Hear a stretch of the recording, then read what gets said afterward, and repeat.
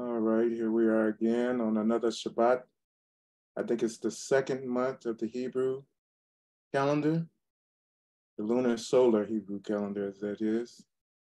And we're at the last day, which is the Shabbat, the fourth Shabbat. Let's see, we had the A, 15, 22nd. Today is the 29th day of the month. Uh, as a matter of fact, we're within a few days here, for those that do Pentecost, uh, which means 50, 50 costs or something, whatever it is, it's Greek. For those that celebrate it, that's 50, it's the 50th day from Passover. We'll have that coming up here real soon. That's that's a confusing celebration, I'm telling you. The church got a lot of things. Christianity got a, let me say it like that. Christianity has a lot of things confused up because uh, when you look at it, if you count 50 days from uh, Passover, it would have to be exactly 50. All right. But, but what are they doing? Are they doing 50 days from Passover or are they doing seven Sabbaths, seven Sabbaths and adding, adding one day? Seven Sabbaths and add one day, and that makes 50. Because if you add seven Sabbaths and add one day, that's more than 50 days from Passover. All right. Uh, so, but we know that it's going to be somewhere in July. All right. That the, that the celebration is called the Feast of uh, Wheat Harvest. Uh, I think it's called, what is it, Shavuot? Feast of Wheat Harvest. And uh, it's a harvest, it's a wheat harvest. All right. You won't get no wheat anytime soon right now in, in, in May.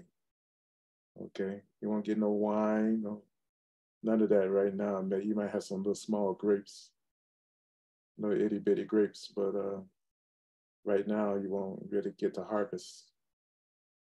So I think Christians should go back and really rethink that thing. Uh, last week we spoke about uh, the the uh, the holy day, the day uh, Sabbath day, which is the fourth commandment, and then on the Ten Commandments, the fourth which has something to do with Yahweh. So you know the, the first four is commandments directly dealing with Yahweh Elohim. And uh, the, the last six is dealing with your neighbor, loving your neighbor as yourself. Okay.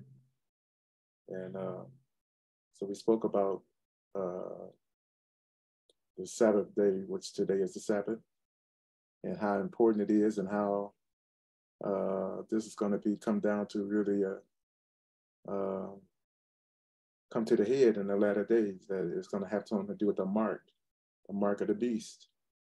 You know, because it is a sign, a Sabbath is a sign between Yahweh and his people. That word sign means mark. So what do you think the mark of the beast is in, in Revelation chapter 13? It has something to do with a mark, but just like that Sabbath is a mark for God's people, between him and God, between them and God. Okay? So it's really something else right there. So uh, it's the glory of God to conceal a matter. It's the honor of kings to search it out. And he said he would hide his Sabbath, Sabbath from us because of our sins, and he did. But that doesn't mean it, can, it can't be found out. I believe that many people are searching it out, and it's been found out. You know, but uh, we'll get more into that in a little bit here. First of all, I want to get into uh, into uh, saying praise to Yahweh. First of all, you know, all praises be to Yahweh, Elohim, our God of the above all gods, His Son Yahweh Shai Hamashiach. Redemption and restoration into the God the Father. Right? All right, let's see. Uh,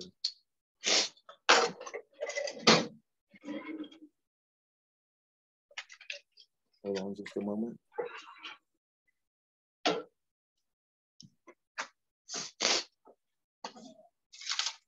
We're going to get on our topic, a grand topic here.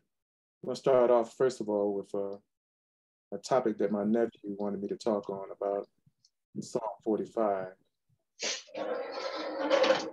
45. A lot to do with it. It's a mystery. Psalm 45 is talking about. You know, it's a mystery. Uh, but I found it to be talking about really Yahweh himself, the God that sits on the throne. All right. I found it to be talking about that. And I, and I believe that everybody else, when it's all said and done, when it's fulfilled in the kingdom, everybody's going to know what this is talking about. And some people have searched it out and found it. It's the honor of kings to search out, search out of my matter, right? Glory to God to conceal it. And it's the honor of kings to search it out. And uh, I think the more mysteries we search out and we understand about God, it's going to help us in the end. It's going to help us when it's all said and done. All right. Um, you know how to read a map very well. You know your sense of directions. When you're needing to get to one place to another, from one place to another, you're in a very serious emergency, like the end of the world or whatever, and you've got a map on you and you're traveling, it's very good to have somebody or some some people that know direction and know maps know how to get there and how, how to, to navigate quickly as possible through your, in your directions. All right, same way here in the word. When you're searching out the word, you want to search out first before your Yahweh starts coming. Let me let me get that straight. Before your Yahweh starts coming, you want to already be familiar with his word, definitely about his mysteries and about the truths. In other words, you want to work out all the kinks all right. I've seen some very great Bible scholars. Uh, I can tell that we're working on kinks, and I would, uh, I would, I would uh, encourage everybody, especially for great Bible scholars that are already knowledgeable and growing in the Word and precept upon, upon precept and everything. Everybody, whether you're great or small, to search it out as much as you can this is going to pay in the end. It's going to it's going to have dividends. All right. But uh, this psalm is talking. It says, "Your throne, O God, is forever and ever. It's forever." All right. And we know Yahweh's throne is forever. He's the only one that sits on the throne in the heavens. And uh, we know that when Yahweh taught us to pray, Our Father who art in heaven, hallowed, hallowed be thy name. Thy kingdom come that will be done on earth as it is in heaven. we, we read over that real quick, but listen to it. On earth, that means his kingdom's coming to earth.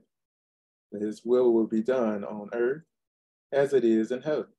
So that's what we're really waiting on, his kingdom to come. And this is a, a psalm by the sons of Korah. Remember Korah in the wilderness, they, he didn't do too well. But his sons, they did not follow his footsteps. All right. Korah's sons didn't follow his footsteps. As a matter of fact, they became great worshipers and servants in the temple of Yahweh. All right. So his genealogy really was good. But he, as a person, did wrong in the wilderness and, and suffered for it. Uh, says to the chief musician upon Shoshanim, for the sons of Korah, Miskil, Miskil, Maskil, a song of loves, all right, a song of loves.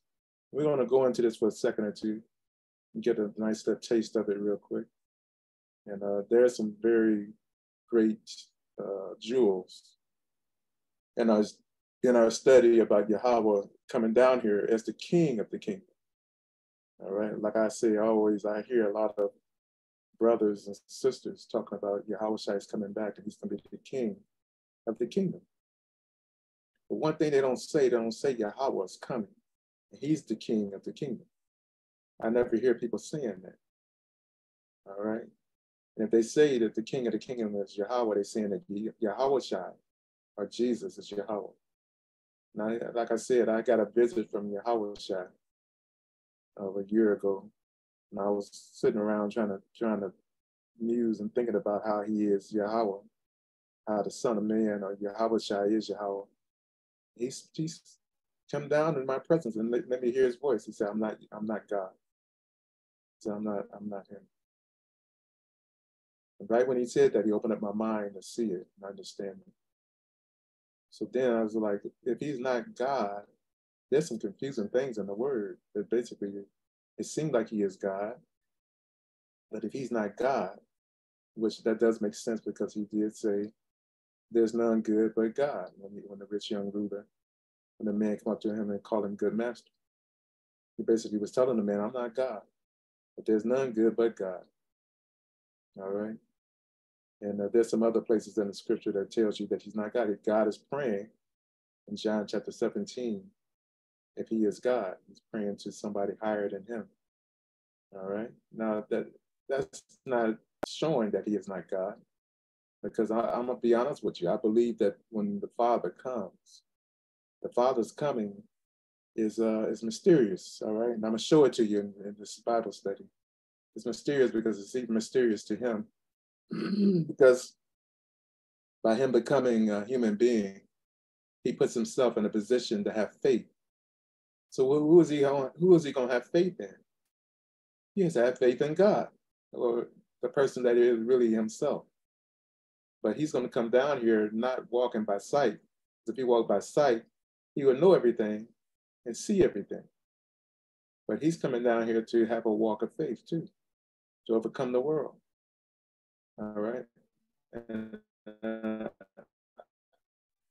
it, it's kind of obvious that Yahweh knew what was going on. When he was a baby and all of that, he was like, he was born into this world for that purpose. But the person in, in Isaiah 49 that basically doesn't give his name, but God knew called his name from the womb, is obviously the person that sits on the throne. All right, if we study that really good, if he's the one that sits on the throne. And uh, what we have here is we have Yahweh that's in heaven, and Yah is bringing us, he's setting up a kingdom on earth right, in these latter days. And he's, when we look at Yahweh as the lamb, Yahweh is the lamb of this person that's coming. He's the lamb of God. All right. He's a lamb of the person that's coming, the, the person that sits on the throne, the ancient of days. And you might say, why, why does the ancient of days have a lamb? All right. He's the lamb of the Ancient of Days. And that's what Abraham figured out. And he told his son, when his son asked him, I see the fire, I see the wood, but where's the, the lamb for a burnt offering? And Abraham told him, he said, son, my son, Yahweh will, will provide himself a lamb for a burnt offering. So that means Yahweh's going to provide, check this out, he's going to provide himself a lamb for a burnt offering. So that means Yahweh will come down here and be amongst his people and will need a lamb for a burnt offering. Okay, and we sometimes look over that and we don't see that, but it's letting you know that Abraham understood it and that while Yah was telling was was trying Abraham, he was also preaching to him the gospel of, of the Lamb of Yahweh That Yahweh was that Lamb, as John the Baptist proclaimed. And when he saw him walk into his baptism, behold, the Lamb of God I take away the sins of the world. All right. Behold the Lamb. I think that's what he said, that takes, takes away the sins of the world. And when he come up out of the water, there was a great voice that said, This is my beloved son. After the Holy Ghost had descended upon him, he said, This is my beloved son in whom I'm well pleased. All right. But there's some there's some mysteries. We're gonna go through this. We want to read this. We want to go through this reading real quick of Psalm 45. Because my heart is indicting a good matter. I speak of things which I have made touching the king. All right, so, so somebody's, and this is a, it's, somebody's talking about a king here, as you can see. And the only king that we can imagine is talking about right here, what it says your throne, O God, is forever. This, this king is the one that sits on the throne in heaven. Now, here, let me explain it like this to those that don't understand this God of Israel. The God of Israel, Yahweh, is almighty. He can be in more than one place at the, at the same time. He's uh, omnipotent, omniscient. That's what that word means. In all places at the same time, if he wants to be omniscient. All right. But uh, he said, "Pick up things which I've made touching the king." So this king can be on earth and in heaven at the same time. All right. Uh, highlight that. My tongue is the pen of a ready writer. Thou art fairer than the children of men. So this right here, it says thou art fair. Let's look at the word fair real quick. 30, Hebrew 3302. Thou art fairer than the children of men. Let's go there real fast. Hold on just a moment.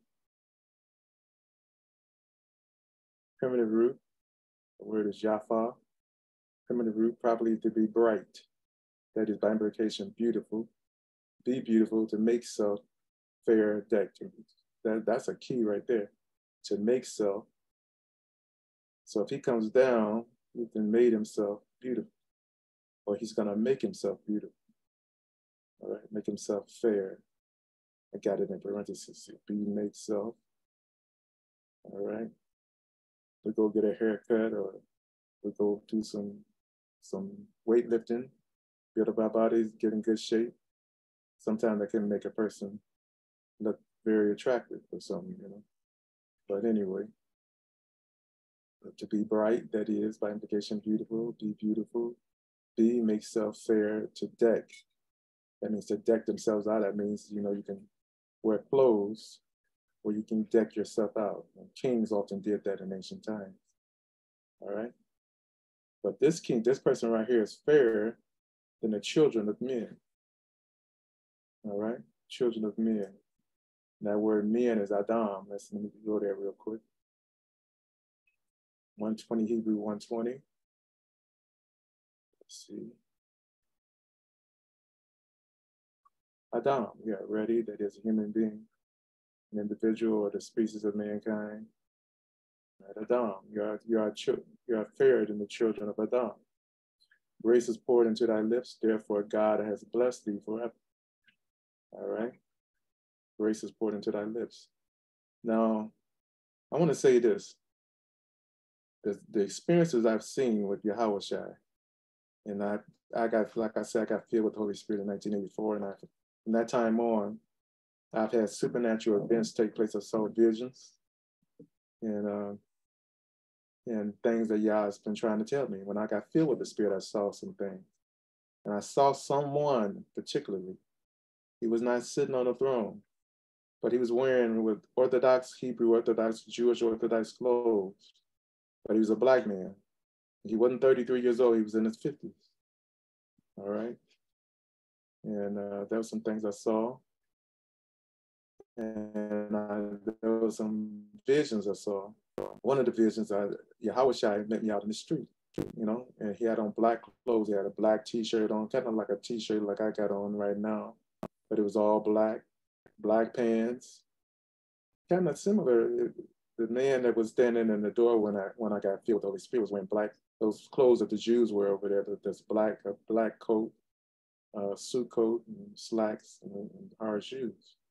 Well, Yahweh Shai that I met in the street in this vision was wearing a black shirt and black pants. I didn't look at the shoes, but he, you know, didn't have to.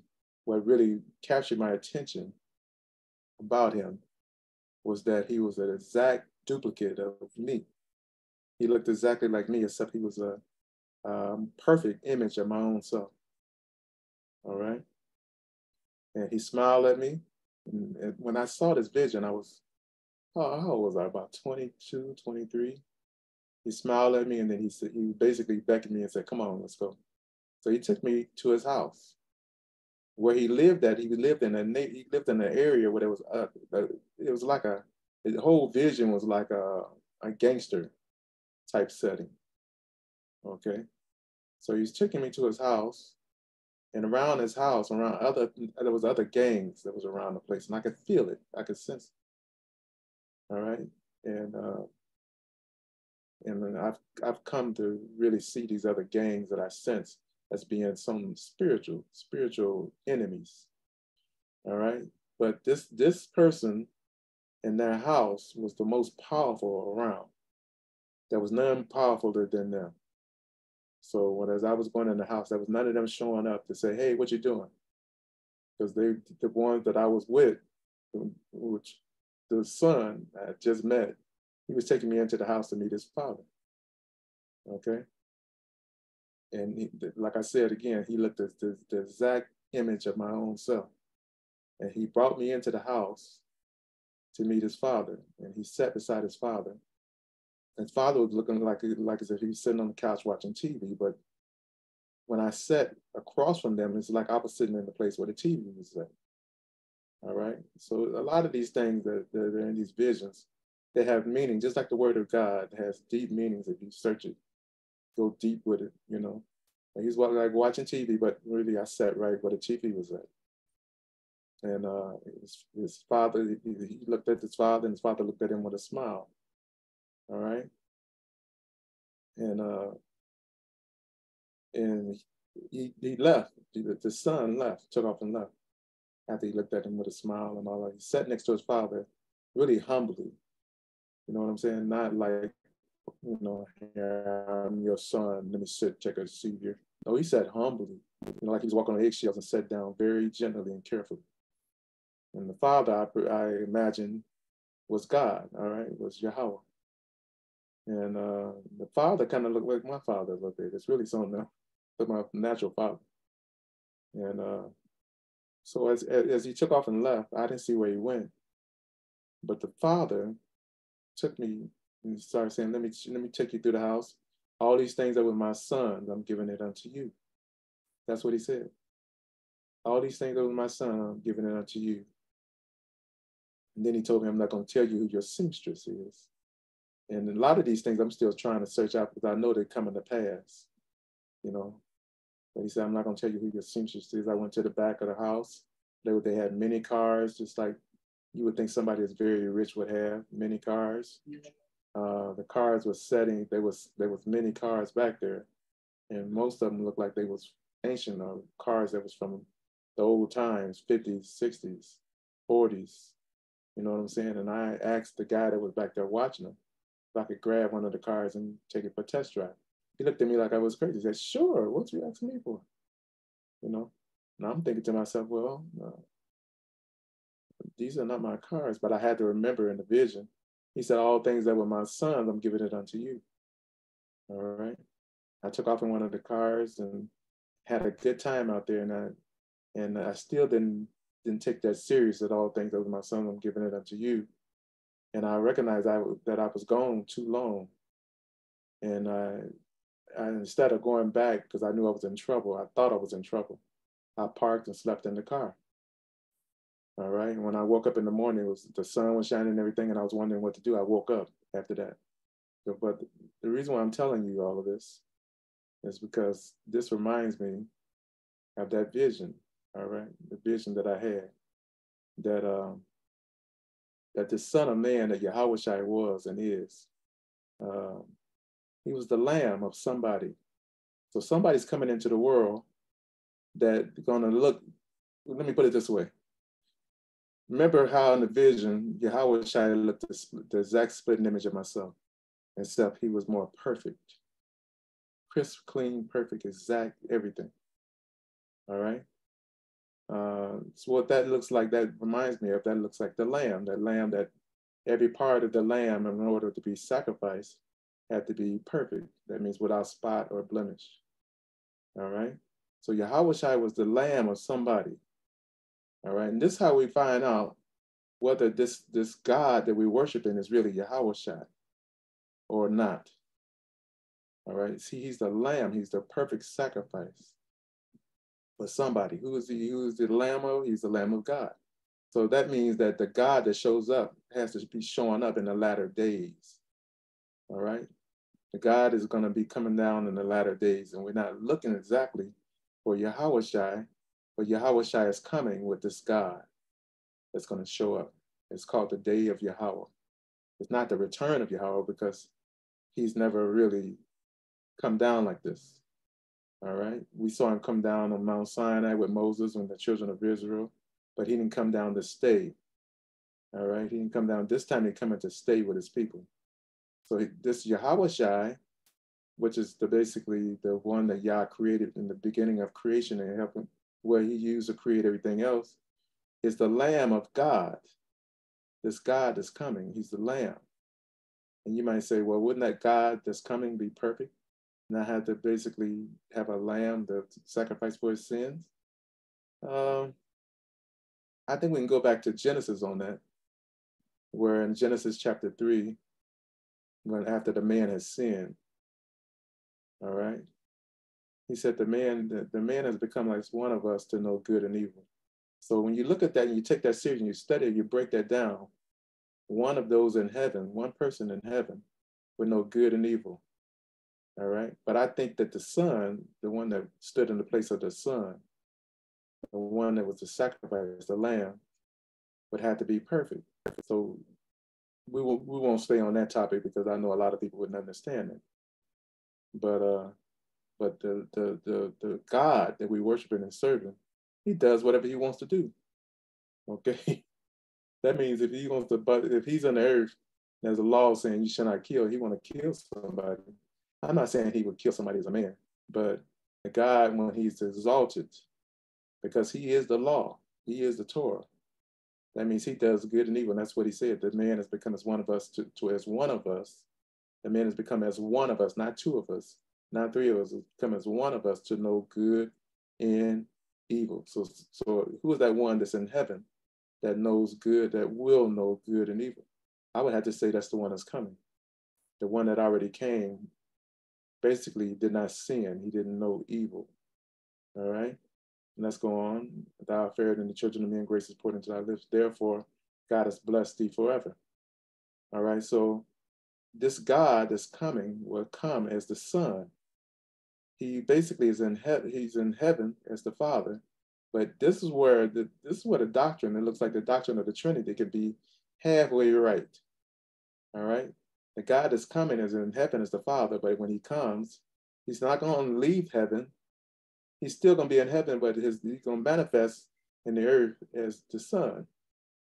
And the, and the Hawashai was his lamb, was his sacrifice. I hope you understand that.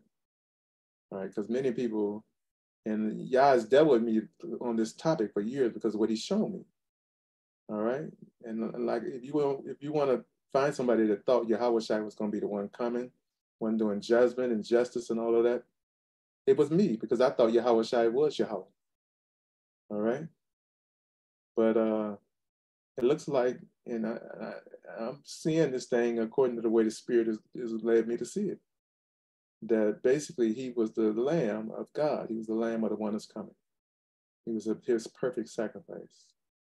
So this man would live in this world and um, Yahweh even said it. He said, There's coming a day you're going to want to see one of the days of the Son of Man. What Son of Man? We've already saw the whole thing, all the way from his birth to his death in the Gospels. He was not, I don't think, well, let me put it this way. He was not talking about himself. All right. He was talking about another Son of Man. And the, in the Old Testament scriptures talk about this person all the time. All right. The New Testament is kind of focused on Yahweh but you can find him also in the New Testament. So we're gonna we're gonna find him right here. All right. Now God has blessed thee forever. Gird thy sword upon thy thigh, O most mighty. All right. It says, Oh mighty. Let's see, that's not Elion. Let me see, look at that word mighty. The word most is in italics. Now, if it is said most highest on it might be Elion, but let's see what this is real quick. Hold on just a moment.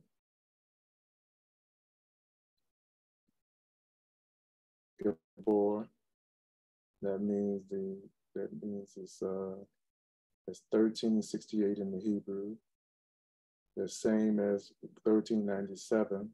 It means powerful, abdication warrior, tyrant, champion, chief, excel, giant, man, mighty man, strong man, valiant man.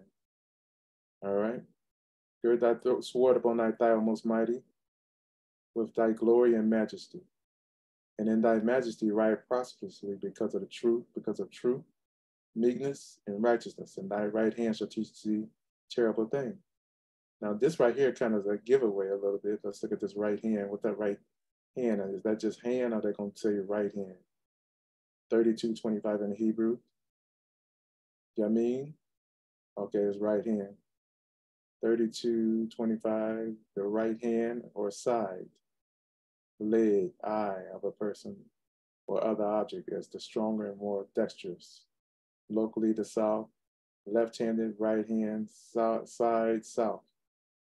All right. So when it says that Yahweh shall set on the right hand of the Father in the heaven, it's kind of right here, it's kind of almost like a hint. And thy right hand shall teach thee terrible things. It's calling him the most mighty.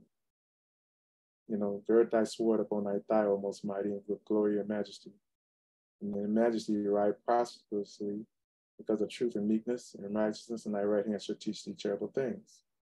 Thine arrows are sharp in the heart of the king's enemies, whereby the people fall under thee. All right, so right here he's saying arrows. I want to show you something real quick in Revelation. And many people think this person, I want to go, I'm going to go back in history and come back to this little chapter. Many people in Revelation, we have uh, uh, people saying that the, the rider on the white horse in Revelation chapter six, the first seal that's open is uh, is Antichrist. All right, I'm gonna show you show you something real quick. That he can't be Antichrist. Now, the first seal that's open, because we see this thing going on in Revelation chapter five about the Lamb opening up the seals of the book that's in the right hand of the Father, that's in the hand of the Father. And when he starts opening up the first seal, he, he opens up and sees a white horse, and him that sat on it had a bow, and a crown was given unto him. Now the crown is a Stephanos. It's a, basically when you look and when you study this crown, a Stephanos, it's a crown that's promised to believers, to overcomers. A crown was given unto him, and he went forth conquering and to conquer. See that? So he had a bow. Let me read it again. Okay, let me read this starting at verse one. And I saw when the Lamb opened one of the seals. You know, it's the Lamb opening up the seals, right? And I heard as a word the noise of thunder, one of the four beasts saying, Come and see. And I saw, and behold, a white horse, and he that sat on him had a bow. So if he has a bow, that means he has some arrows, right? And a crown was given unto him, a Stephanos was given unto him. And usually a person, when, when you're talking about this crowns, these overcomers crowns, it's talking about crowns are going to be given at the coming of, of the Lord. All right, when he raises the dead, he get he get overcome his crown. But this man is given a crown right at the top. All right, it's like he's the first one to get a crown. I saw and behold a white horse, and he just sat on him, had a bow, and a crown was given unto him. He went forth conquering and to conquer. All right. Now let's go back here where we were just at in Psalm chapter uh, 45 obviously this person with a white horse at that, how could he be the Antichrist with a white horse? All right. Now, as we see in Revelation 19, we see uh, see a man coming who's King of Kings and Lord of Lords, riding on a white horse. All right. And we see the theme of a white horse with God and anybody else. As you see, the other horses are not white. That's in this seal, that, that's in the second, third, fourth seal. They're not uh, white. They're red, black, bay colored, according to what, what they're going to be doing, what their part, what their what their um, job is to do. This man is riding a white horse. All right, so that doesn't sound like Antichrist to me. As a matter of fact, my son and I was watching these movies, these movies called The Omen, that were made back in the 70s. And there's, I think there's some in the 80s interesting movies about the Antichrist, about the man of sin. We're going to talk about that a little bit there here too. All right, the man of sin. All right. So thine arrows are sharp in the heart, verse five, thine arrows are sharp in the heart of the king's enemies. So in that vision I had, the king, the, the, the God, who, that was God in that vision, which I believe, you know, it was, you know, I had a vision about God. All right, the Son of God, you know, and God Himself sitting on the throne, sitting in his, in his house. All right. All right. Thine, thine arrows are sharp in the heart of the king's enemies, and I saw before we entered into the house that he had enemies. All right. I remember it was a gang type, as a gangster type uh, setting in the, the vision I had, whereby the people fall under thee. All right, thy throne, O God, is forever and ever. All right, so this throne right here, let's see, verse six is forever and ever. All right, the scepter of thy kingdom is a right scepter. Now, this is where it gets strange at because is this God? Is Jesus God? Is this saying that Jesus is God or what? Because basically, this God has a God. And when you look at Jesus, when we see Jesus, we see him praying and asking God to glorify him with the glory he had with him before the foundation of the world. The, the glory that, you know, glorify him with his own self. I think this is in John chapter 17. He tells God, glorify me with your own self with the glory I had with you before the foundation of the world. Because y'all, you loved me before the foundation of the world. I think that's what he said. All right. So he's praying and asking God for all of these things that you can tell that he's not God, not the most high. But this person right here says, Thy throne, O God, is forever and ever. The scepter of thy kingdom is a right scepter. Thou lovest righteousness and hated wickedness. Therefore, God, thy God, has anointed thee with the oil of gladness above thy fellows. This is why I say that the God that's in heaven, both of them, both of them are the same person. But the one that's going to be manifested here on earth it has to be this has to be also in the position of the Son. And that makes the sense that makes sense that Yahweh is the Lamb of God. And Yahweh in this vision that I had was the same age as me. And he was basically looked exactly the split image of me, except he was a perfect, like a, a perfect man that never sinned, never done wrong, never ate anything wrong. That type of person, all right? Uh, he was perfect. You could look at him and tell he was perfect, but a perfect image of myself. All right. And I was what, 23 at the time. I was very young. All right. And uh, that, that vision kind of tells me what this is all about. Why was Yahawashi looking exactly like me? All right. What was he look? What was the whole point of this vision of him looking exactly like me? Was it because he was my sacrifice? Maybe. All right. But anyway, but we know Yahawashi as being the the the one that is the is the one that saves the whole world. Like John the Baptist said, is the Lamb of God who taketh away the sin of the world. So the way I saw it at that time was that everybody he looks just like everybody that he's dying for, that he's sacrificed for. That's how I saw it at the time. But okay, and I'm gonna move on from there. But um, he says, Thy throne, O God, is forever and ever. The scepter of thy kingdom is the right scepter. So the God that is coming that hasn't came yet, Yahweh looks exactly like him. Okay, and this man would be in the world, he's going to live a life in this world, not like Yahweh did. Yahweh lived in Israel. He was born in Israel, and uh, he went to, he had to go to Egypt to escape uh, Herod, the Edomite. And then when, uh, when he was dead, he came back and went to Nazareth, to the north of where they where they were supposed to really be living. They supposed to be living in Judah because they was of the tribe and inheritance of Judah. But they had to go to the the Galilean part of the country, right, and lived in Nazareth, where all of those people that were supposed to be living down there in Judah were at. You know, the, the house of David was in was in Nazareth and Capernaum and Galilee areas at that time. And the 10 northern tribes had been scattered uh, hundreds of years earlier. And that's where they had, that's where their territory was at. But anyway, thy throne, O God, is forever and ever. The scepter of thy kingdom is a right scepter. Thou lovest righteousness and hated wickedness. Therefore, God, thy God. So the, the so the point is is here that this God that's coming is coming like as if he's a regular human being. But he's really Yahweh himself. When he first comes into the world, he's gonna live a like I have a, a destiny, like he's just a regular man. All right. He's going to be like that. And he's going to be praying to God, basically his father, but he's really the one that sits on the throne himself. All right. That means nobody will know who he is, and he won't even know who he is. That's how he set it up like that. All right. He won't even know who he is until he gets to a certain point. Therefore, God, thy God, has, has anointed thee with all the gladness by thy fellows. So you can see how Yahawashi was the perfect sacrifice for this person.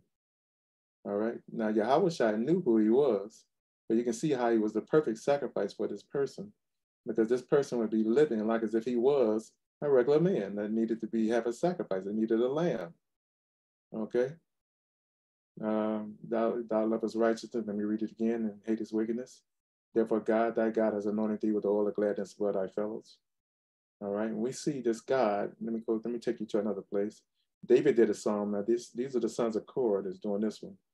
But David did a psalm in Psalm 20, I think it's Psalm 21. Let's see this real quick. David is talking about the same person. All right, this is a, to the chief musician of Psalm of David. When it says to the chief musician, the chief musician was the second, normally the second person that was in charge in the temple area. You had the high priest, and then you had the chief musician. All right, that means they were they was jamming on some music in the temple. All right, so when you see the kingdom come, you you better believe that there's gonna be some jamming on some music. All right, they're gonna be playing some music, gonna be some singing, and everything. My wife told me before she passed that Yahawah, and we didn't know that she was gonna pass either because you know she got cancer, and within the next year she was gone. But she told me that God spoke to her and said, "Sing for me in the kingdom." My wife and I both, you know, my wife is a singer and a musician, a recording, a recording musician and singer too, and uh, we both were working on some music. And uh, she's very good, I have to say. She sang with the Expressions of Joy I had uh, a Midwestern gospel group of females back in this, was that, back in the 80s? And she was young, and she was the keyboard and background singer for, for some great singers. But he told her uh, a little bit before she got diagnosed, sing for me in the kingdom. So there's gonna be some singers in the kingdom, y'all. All right, musicians gonna be in the kingdom. And they're gonna be getting down, all right? The king shall joy in, in thy strength, O Yahawah. Now tell me who this is. The king shall joy in thy strength, O Yahawah. He's gonna have he's gonna the, the key is this. In whose strength? In Yahawah's strength. Let me highlight this real quick. Now this is David. And do you think David knew who, who was going who was coming? And like, oh yeah, David knew. Just like Abraham understood that God would provide himself a lamb for a burnt offering. Abraham knew what that meant, but most of us still today don't understand that. But the, the king shall, let me highlight this. King shall joy and thy strength, O Yahawah. That means the king will have will have joy from Yahawah's strength. Can you imagine that? You know, Yahawah's strength and his joy is unlimited. But this king right here shall joy in thy, in thy strength. That means He's going to have Yahawah's strength. He's going to joy in it. Let me highlight that. Let me read this correctly. I don't want people to think I'm saying something that is not saying. He's going to joy, but he's going to joy in Yahawah's strength. So who is this king right here? Let's go on. And, uh, oh, Yahawah, and in thy salvation, how greatly shall he rejoice? That salvation, let's take a look at this salvation. 33, 4, 4, 4, Hebrews 34, 44 in the concordance. Let's take a look at this real quick. Yeshua. We know that his name is not, this name is not Yeshua, it's really Yahawashi. All right. I looked at these little letters up here.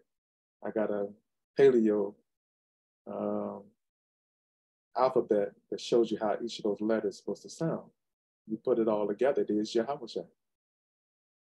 But they they saying it's Yeshua. How they get Yeshua? Look at these vowel points now. The Hebrew Paleo Hebrew didn't have all these, but, but this T, this point right here and that point, uh, they just had the letters. All these points is telling you how to say this. But when you when you say it from the original Paleo, it's Yahawashi. That's why you hear a lot of brothers saying Yahawashi is his name. But right here in Hebrews 34 44 is Yeshua. All right, really another name for Yahweh another way of pronouncing his name. All right. So in yeah, and in your in his salvation, how greatly shall he, re- he rejoice? And in thy salvation, how greatly shall he rejoice? That means in your in your Yahweh how greatly shall he rejoice? All right. that word means is a is a passive participle of 3467. I think it means Yasha all right? Something saved, that is abstractly deliverance. So that means this, this God has put himself in a position to be saved. That means, in a sense, he, he he's Yahweh, but he put himself, he's, you know, there's a, there was a, there was a, a magician, uh, an escape artist back in the 20s or 1900s. I think his name was, uh, what was his name? Houdini or something like that that means you could you, you could throw him, you can tie him up in chains and stuff, throw him down in a and a, and a, and a pool of water with bricks on him, he would come up out of it. Houdini, I think that's what his name was. Isn't that his name, Drake? Houdini? You ever heard of Houdini? Huh? Yeah. Back in the 20s, 1920s? Yeah.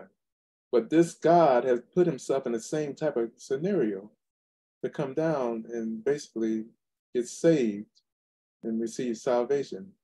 And that's when I say that this God that, like I saw it in the vision, he met me and uh, he was Yahweh It was obvious. That was, that's Yahweh Even though he looked just exactly like me, I knew it in the, in the vision that it was Yahweh All right. But this Yahweh would be God's lamb. All right. He would be his sacrifice. All right. That's why it says in the night salvation, this king has Yahawah's strength, but in his salvation, how greatly shall he rejoice? And his Yahweh how greatly shall he rejoice? And when I saw this Yahawashi, this, this Jesus that was looking just like me, he smiled like as if he was very happy.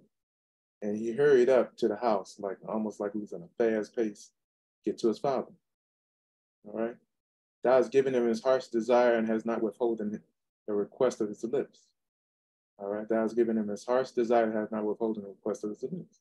So this this person was God, basically, that David is talking about. All right he has a request of his lips. Now we see Yahweh praying in John 17 to the Father, but this person who is really God himself will be praying also to, I guess you could say, his own person, his own self on the throne in heaven, because he's coming down not knowing who he is. And that's Psalm 49. You go through Psalm chapter 49, that's him talking right there. He basically has to wake up from his sleep almost like the Hebrew Israelites are waking up from their sleep right now among the nations. He wakes up from his sleep and recognizing that he basically was spending his life uh, in vain, that he was working hard and all of that. He was spending his strength in vain. And he realized that Yah called him to wake up the children of Israel and to restore them. All right, and all of that. This is Psalm 49. He doesn't tell you his name, but that's really this God that we're talking about right here. So thou preventest him with the blessings, with him, okay, excuse me, for thou preventest him with the blessings of goodness, and us a crown of pure gold on his head. So this this crown of pure gold is uh, not a Stephanos, which you know we get a Stephanos in the, in the New Testament because it's translated from the Greek. This crown, it's, uh, what is it, diadem 6337 in the Hebrew? Let's see, pause, all right? Pure gold, hence gold itself. Refined, pure, fine, pure gold. So it don't even say it's a diadem, it just says he got gold sitting on his head. Okay, a gold, you know, crown, I guess.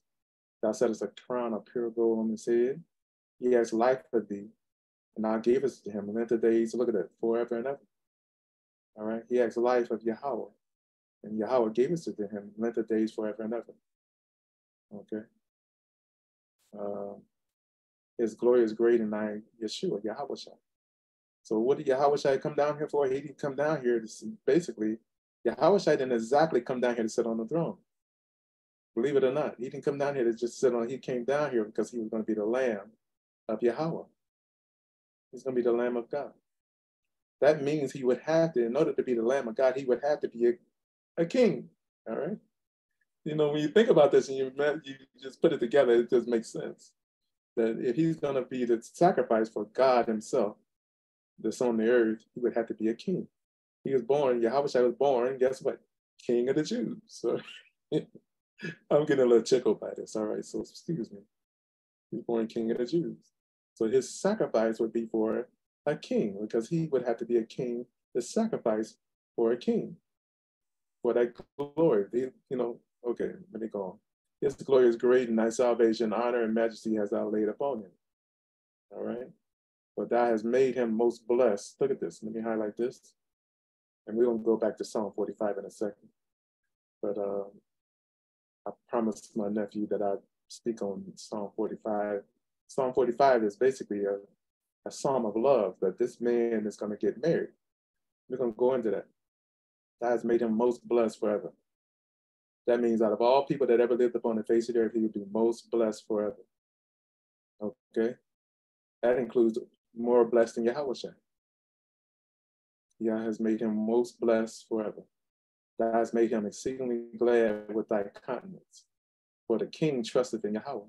And through the mercy of the Most High, that Most High right there's Elyon. Let me look at it.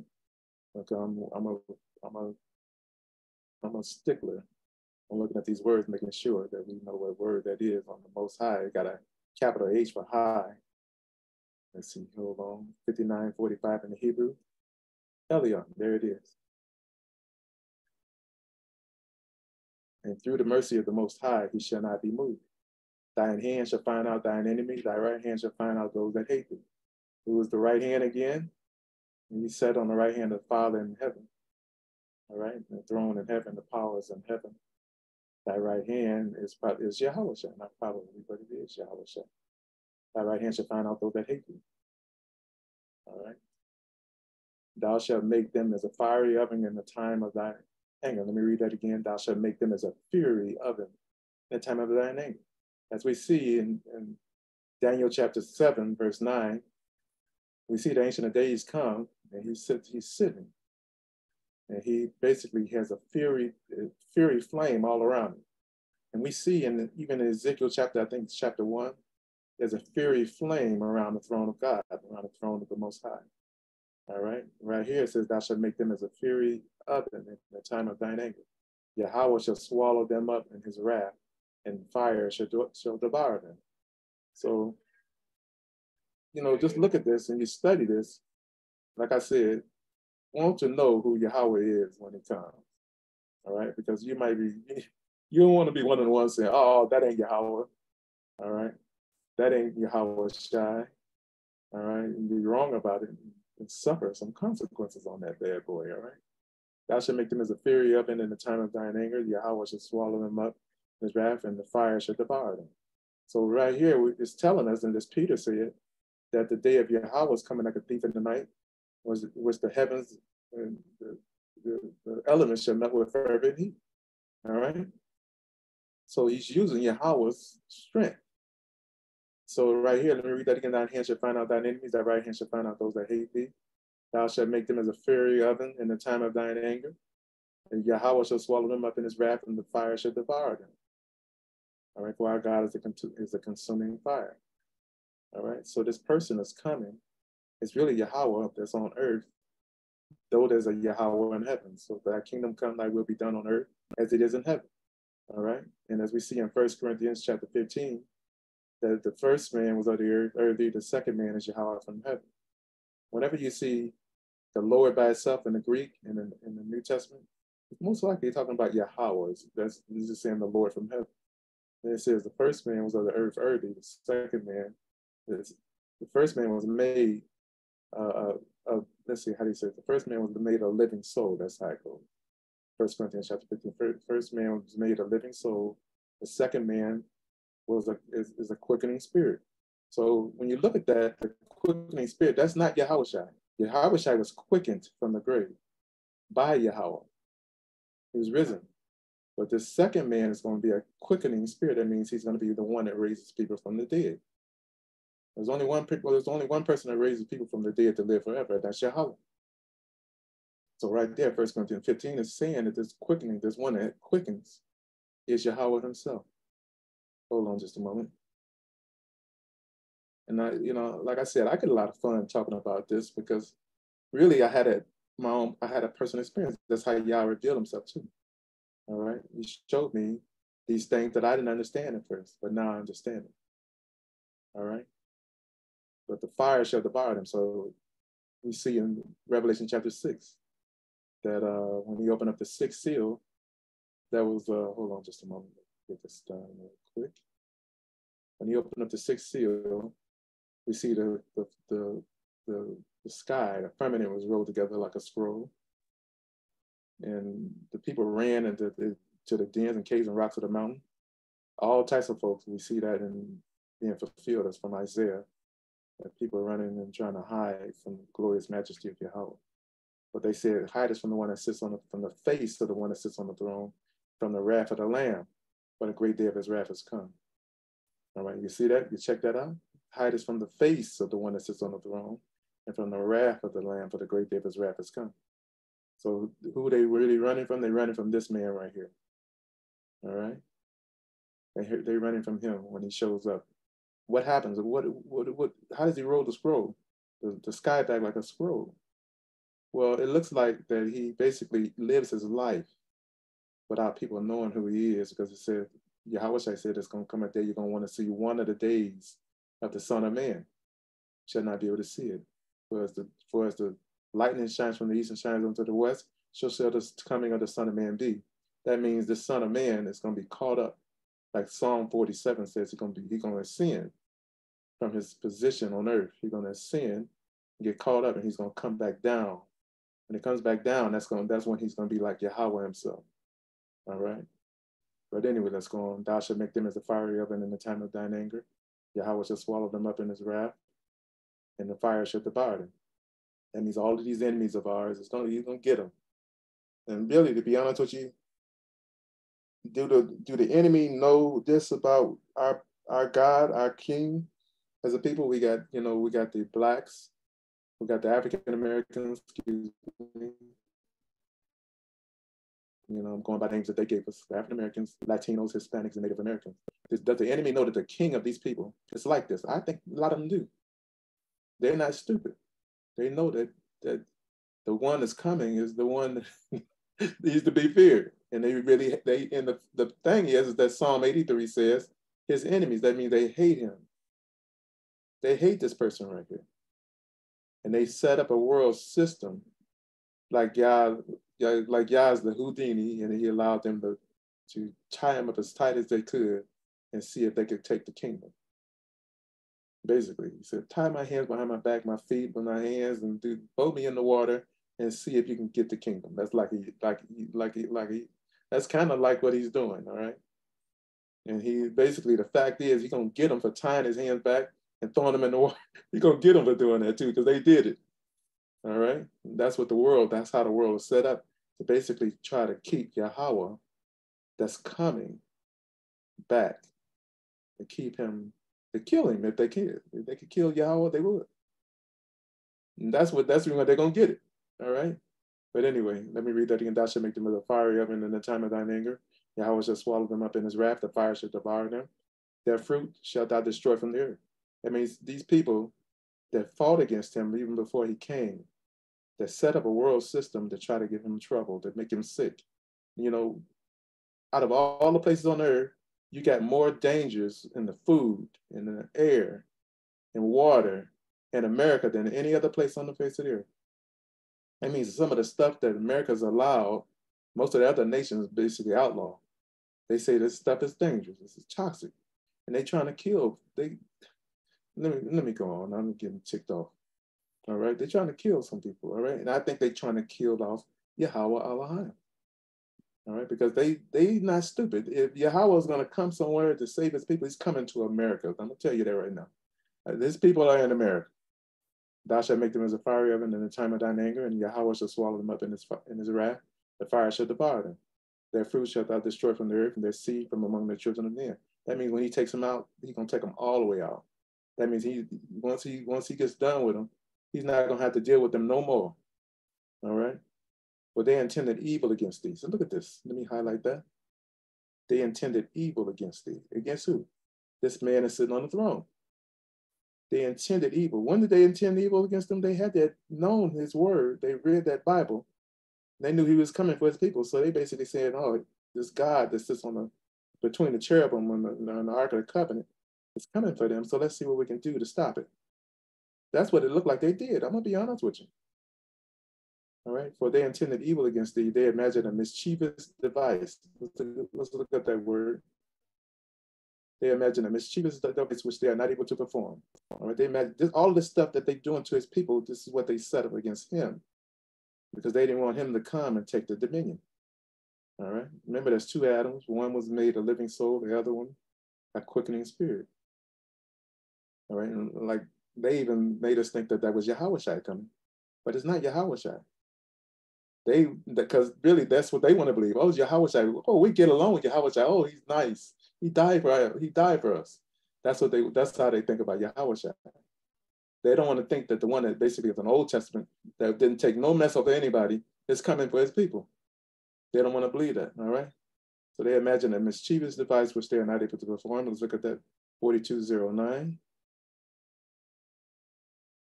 Mizamon, Mizamon, I think that's how you say it, from 2161, a plan.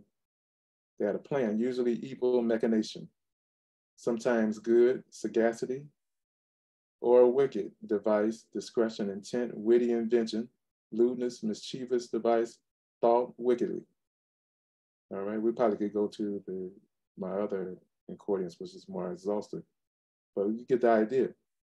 They imagine a mischievous device against who? Against the one that we're reading about right here, which they are not able to perform. You might think, say, what people would literally fight against the one that created everything that they enjoy? All right, the whole earth, the heavens and the earth, the sky, the water coming down, watering the plants, the animals, and they, they created all of that. What people would fight against him and try to take him out? That would have to be somebody wicked and foolish. Therefore shalt thou make them turn their back when thou shalt make ready. There it is, thine arrows upon the strings against the face of them.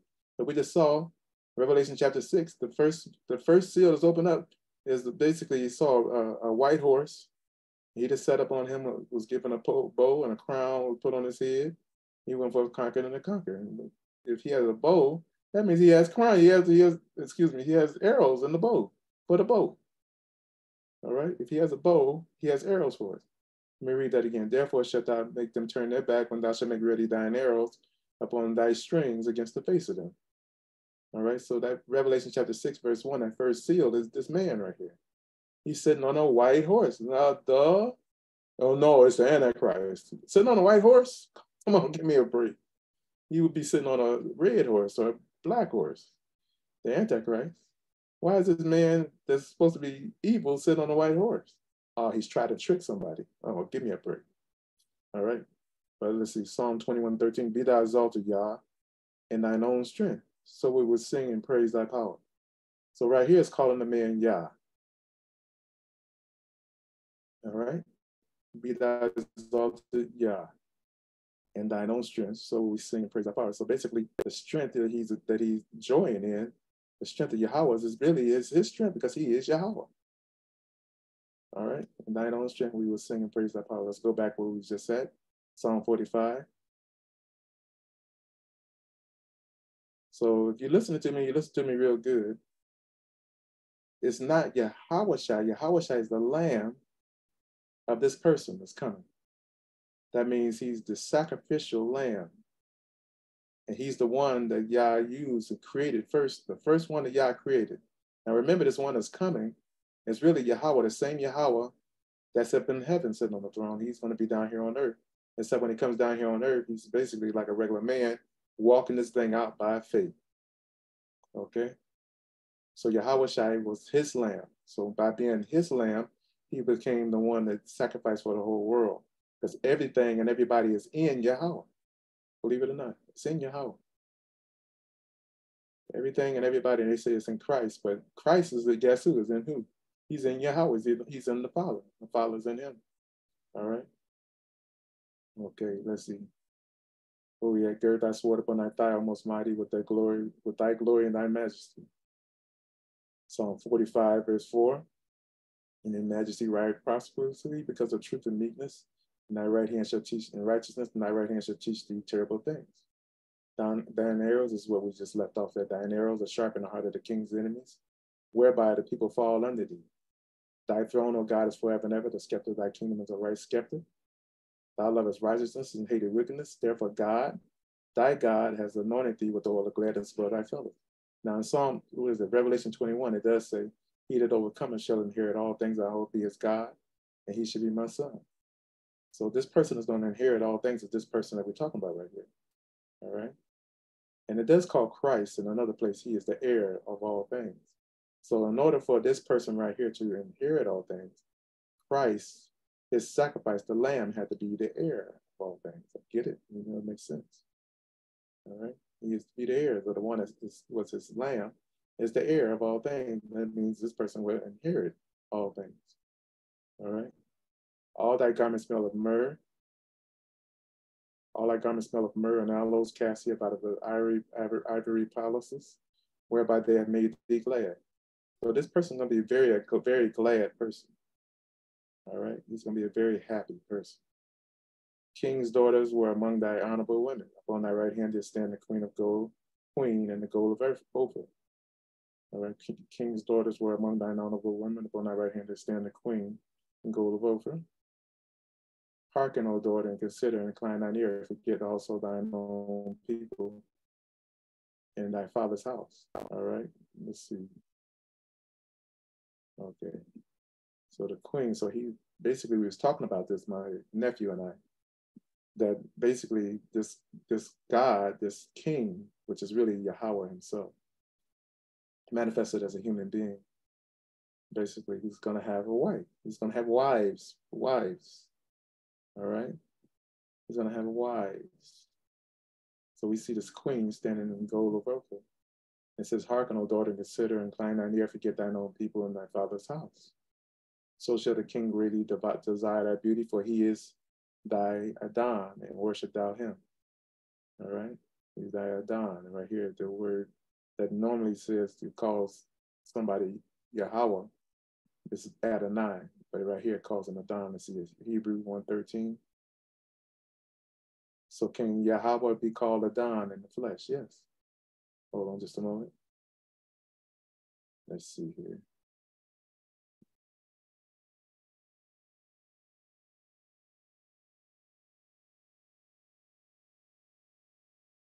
Adon. Some people will say Adoni right here, but right here it shows us the way to pronounce this is Adon because they don't have an E at the end of the, the, uh, example of it. All right. So it's Adon, an unused root meaning to rule. Sovereign, okay, let's go back there again. Sovereign, that is controller, human or divine, right here. So Adon could be, like I said, said, it could be used for a human, a regular person or divine. That person could be a divine person or a regular human. Let me highlight that.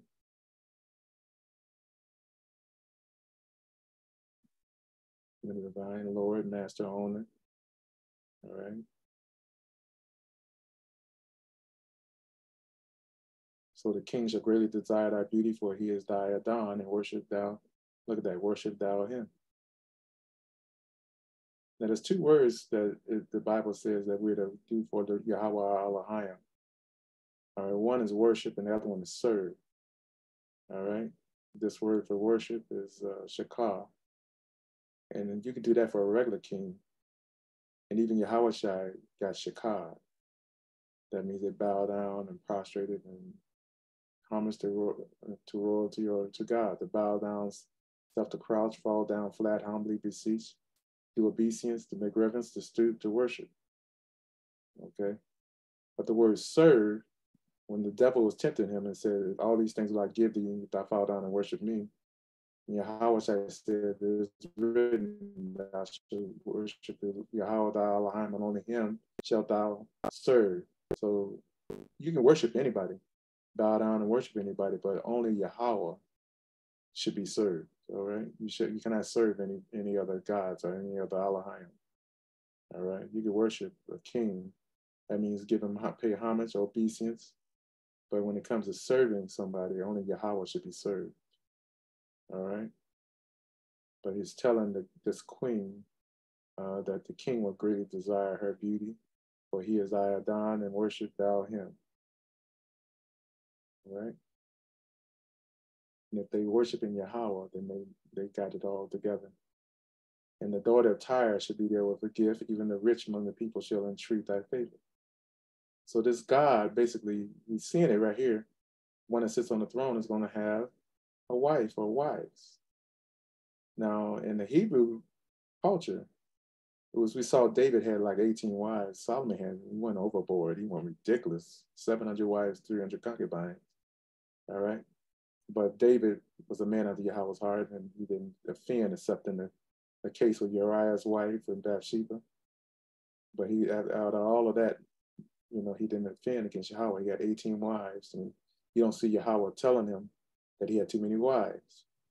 All right. Now, in Hebrew culture and the law, which really is what really matters, the law, as long as you don't break Yahawah's law, you're all right. So David did not break Yahawah's law by having 18 wives. So the daughter of Tyre should be there with a gift, even the rich among the even rich among the people shall entreat thy favor. The king's daughters, the king's daughter is all glorious within her, for her clothing is wrought of gold. So there's something about her, his daughter, right here. she shall be brought unto the king in needle raiment, raiment of needlework. The virgins, her companions that follow her, shall be brought unto thee. With gladness and rejoicing shall they be brought, they shall enter into the king's palace.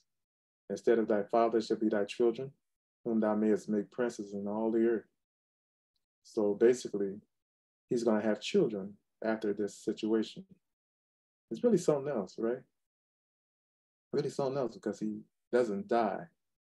That means his trek on earth doesn't kill him. They sought to kill him, as we saw in Psalm uh, 21.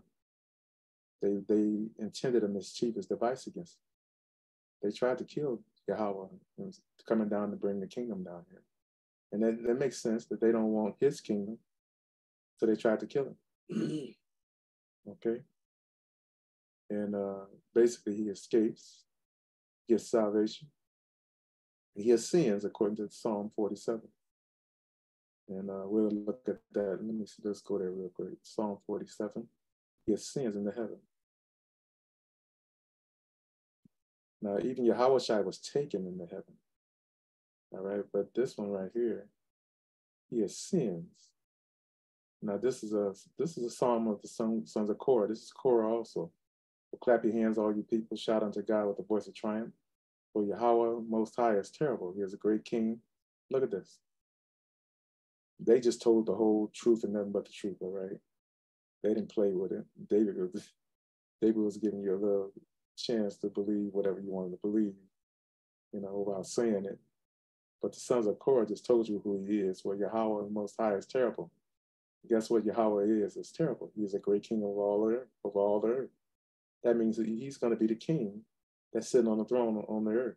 That's going to be down here, not in heaven. Not that he's reigning in heaven over there. He's going to be in. He's going to be in the heavens as king sitting on the throne there, like we saw in Revelation chapter four but he's also going to be king on the earth, sitting on the throne in Jerusalem.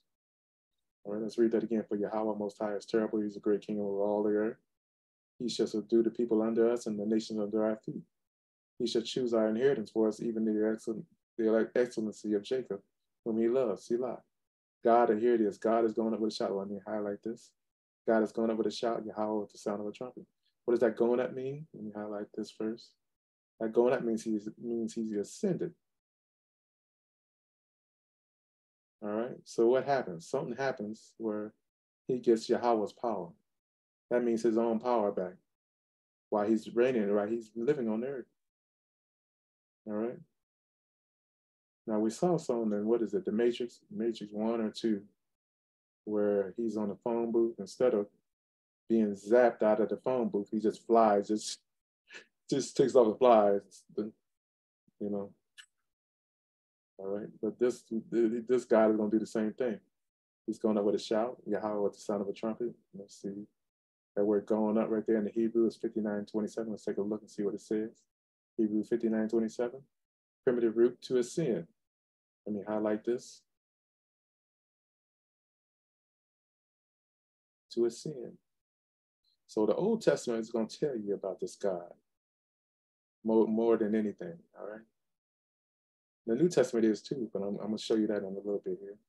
To be high or active, active mount, used in a great variety of senses. I'm not going to read this whole thing, but it means to ascend. God, God has ascended with a shout.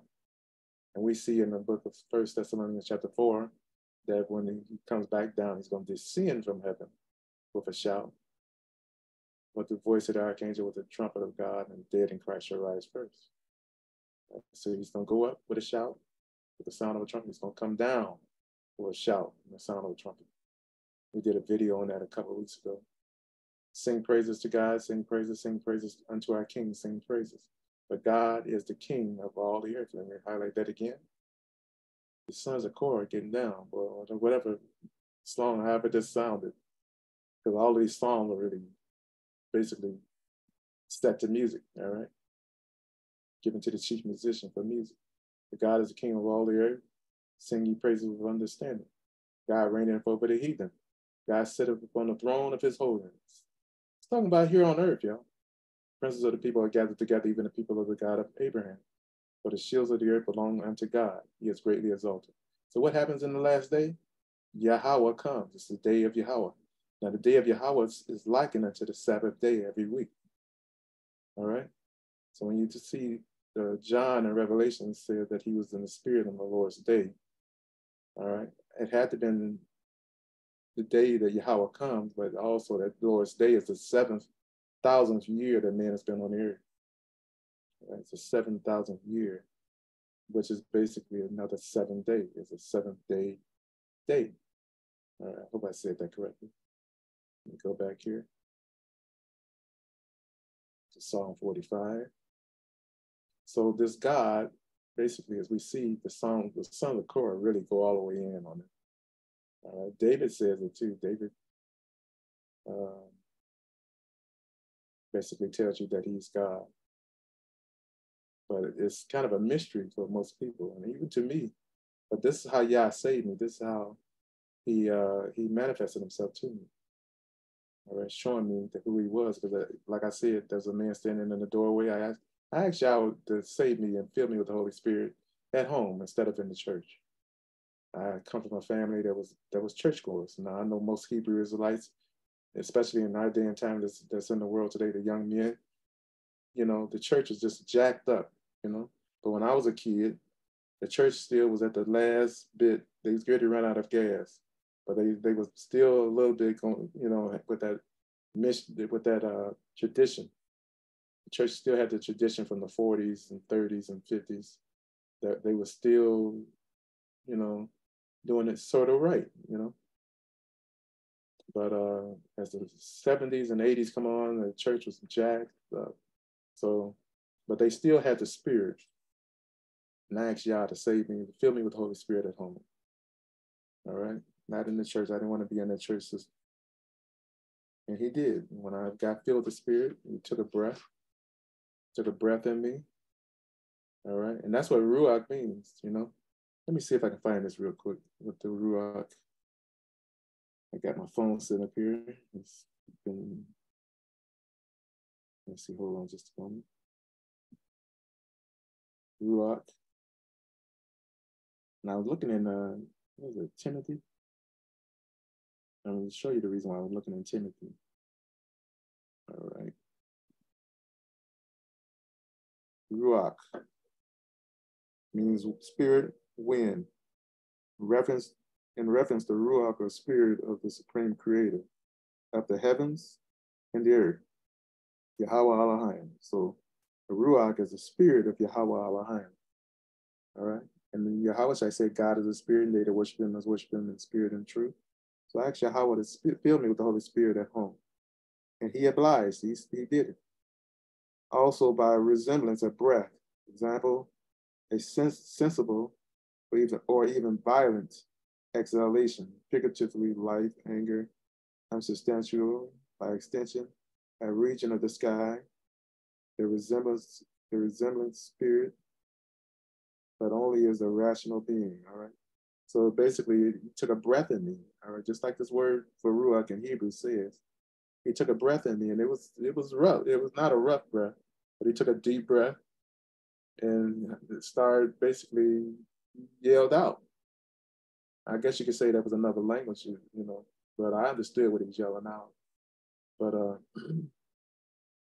but anyway, uh, where was we at? Uh, okay, so we're trying to get over here. That means that he's going to have a wife. He's going to have wives and daughters, children. He's going to make his sons instead of his fathers right? Instead of thy fathers, verse 16 in Psalm 45, instead of thy fathers shall be thy children, whom thou mayest make princes in all the earth. And I will make thy name to be remembered in all generations. Therefore shall the people praise thee forever and ever. Okay. Uh, so you have to read these things really good, read them very carefully. All right. But better believe it, the enemy, the people that that, that are going to church, Christians, which really are basically, I hate to say it, are the enemies of, of the children of Israel, the true children, the 12 tribes. They, they're their enemies. Didn't they, the, the, the same folks that go to church, that are Christians in this nation, didn't they take these folks, these same 12 tribes into captivity and oppressed them, made them slaves? You know, and when Yahawah, when Yahawah told Moses to write Deuteronomy 28, 68, thou shalt be, the Lord shall bring you back to get back again to Egypt in ships. You should be taken to, to Egypt again in ships where you would be sold unto your enemies. So this is the place, then the people that we were sold to basically were Christians. So it would be sold to Christians, which are your enemies. You should become their bondmen and bondwomen, and no man should buy you. All right. So basically, Christians are the 12, 12 tribes of Israel's enemies. These are the people that's going to get it when it comes. You know, I'm, I'm, not just speaking for my own desire. I'm speaking what the Bible says. The people that, that Israel's enemies, which are Christians, which enslave them, which don't want to believe that they're the Israelites, which fight against them whenever they say they're Israelites, and call them anti anti whenever they say that they're Israelites. All right, and they're getting themselves together. They're teaching themselves to not sin, to not do wrong. They're going to basically be mad and angry at that. Oh my goodness. So that has to be an enemy that's doing it. But um, but the people that that that basically got to be careful of it, the people that are your enemies, so they know and they don't want you to be these people. They don't want that because what? That forecast disaster for them. They don't want to hear that Yahawah's coming to to take them out. All right.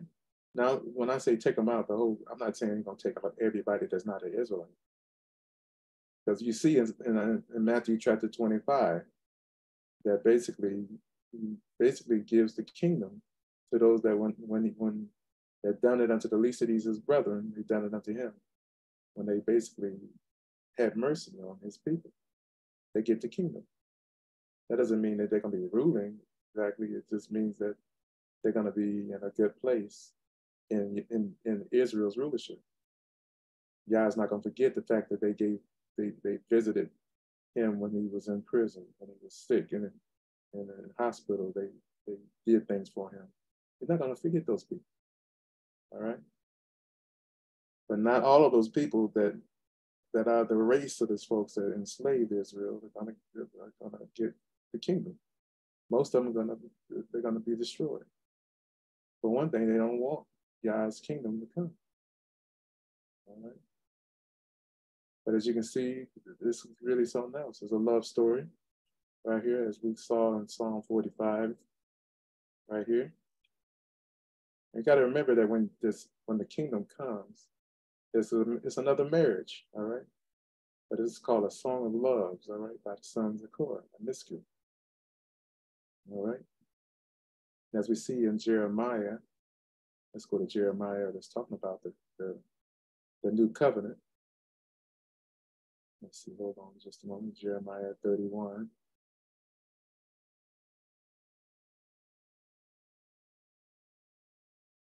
All right, because the new covenant is coming. Many people say, especially the enemies, are saying that we are already in a new covenant. And they call the New Testament scriptures the new covenant. I, I do it every now and then too by mistake because I've heard it so much. Okay. Even this right here, what is it called? The new covenant, but this is the correct terminology for what we, what we read. Behold, the days come, saith Yahawah, that I'll make a new covenant with the house of Israel and with the house of Judah. You may think because Yahweh died 2,000 years ago, we're in a new covenant. But remember this covenant, let me highlight this. This covenant, and this is where a lot of replacement theology has blinded the minds of of these enemies. Because they think because it seems like God has done away with his people that he really did do away with his people. But what did Paul say? God forbid. All right, God forbid. Did God do away with his people? God forbid. All right. So basically, even though God's disciplined them, handed them into the put them into the hands of the heathen and to, of the enemies, They thinking that he's done away with the covenant, that now he's chosen them as, the, as his new chosen people. All right? And they call the time that we're living in the days of the new covenant. But, but, but the but the new, you got to just think of the old covenant. Old covenant happened in Exodus chapter 20, I think 19, 20, and it was sealed in Exodus 24. All right. That was the that was the first covenant.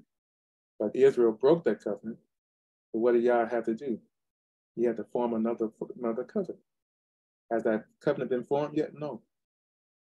The blood has been shed to form the covenant, but there's not a there's not there's not been a supper yet.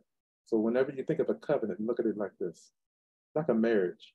And it is a marriage in, in Israel's case got a got a marriage proposal, like a man saying, "Will you marry me?" with his on his knee, with the ring in his hand. And though, those are pagan customs, I'm trying to get you to see in your, in your imagination how this thing goes. You got a proposal. You got an acceptance by the bride.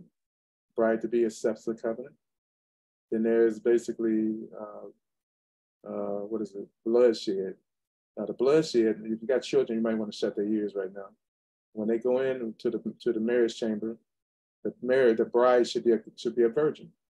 She's a virgin. She's gonna bleed. Okay. So the blood, there's got to be blood shed, and after the bloodshed, after they come out of the marriage chamber, all right, there's gonna be a covenant confirming meal.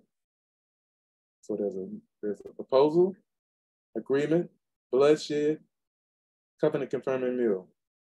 So we see this happening in Exodus chapter 19 through 24 where there was a proposal. Yah proposed to Israel. All right. Israel said all that Yahawah said we would do. They accepted it.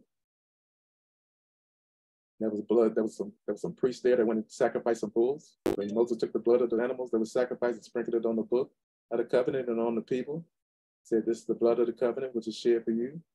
And then when the when the when the blood was shed, Yah called Moses, Aaron, Nadab, and Abihu, and the 70 elders of Israel to the top of the mountain and then and to eat for a covenant confirming meal for all Israel.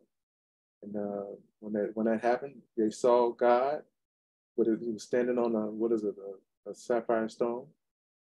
They saw the God of Israel and they ate and drank. All right, but they broke the covenant. So when is the covenant going to be renewed?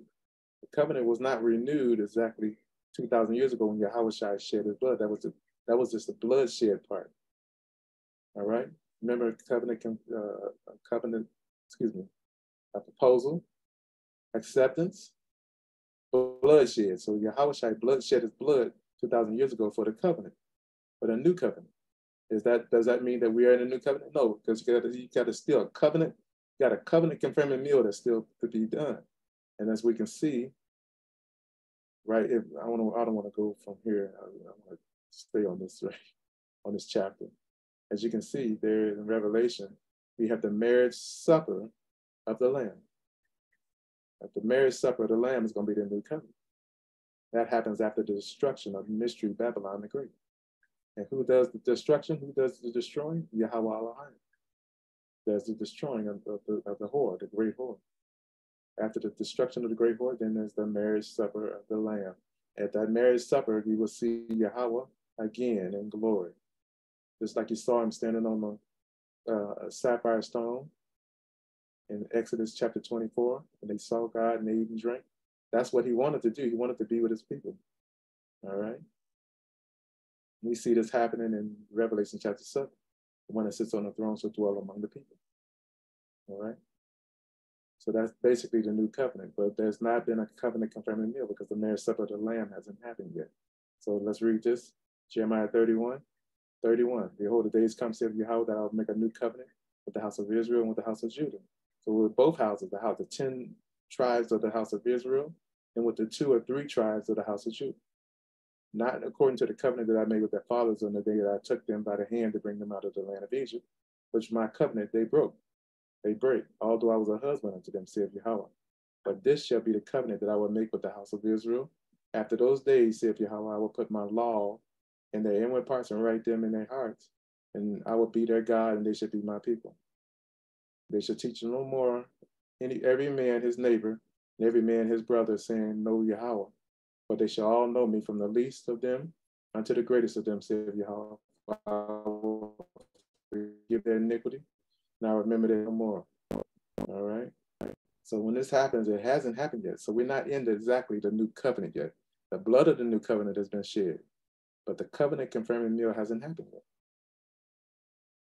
Covenant confirming meal hasn't So the covenant confirming meal hasn't happened yet. That means it, when the covenant is confirmed, then that then the covenant then then there will be a new covenant. But it hasn't happened yet, and it's with the house of Israel and with the house of Judah, not with the not with the nations, not with the not with the heathen. He never made a first covenant with the heathen in the first place. All right, so let's go back where we at. Uh, so I hope you get that and understand it. So this all this Old Testament scriptures talking about God coming and he's reigning and sitting on the throne and all of this is the new covenant. So if you haven't seen Yahawah sitting on the throne in Jerusalem and all of that, you haven't seen a destruction of the Israel's enemies, basically. Uh, what is it called? Uh, a vengeance that's taking, taking place around the whole world what has happened to these people and they, they have been restored. I know that there's people running around saying that Israel was restored in the 40s, 1940s. All right. I know that they're saying that, but uh, but no, when it, when it really happens, the whole world gonna know it. And there will be a king, as we just saw. What was that in Psalm 47? There will be a king that's gonna sit up on the throne of the world. Thy kingdom come, thy will be done.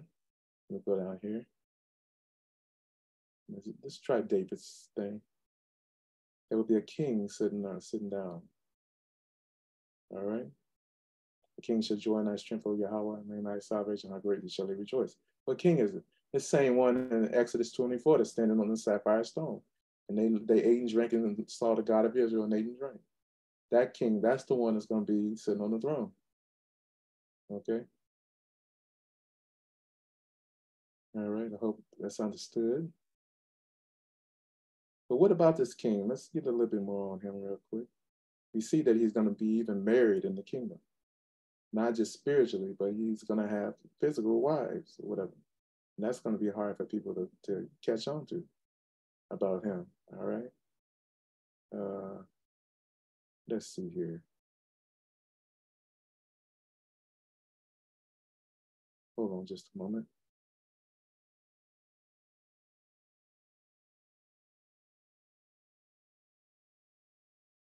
There's some things I wanted to look at real quick before we end this Bible study.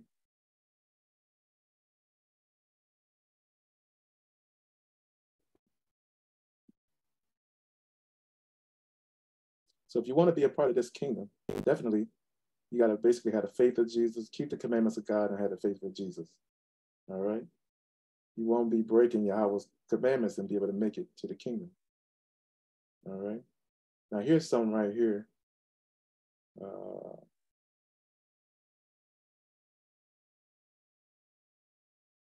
let me see. I don't know if anybody can see what I'm looking at right here. I want to make sure you can see it.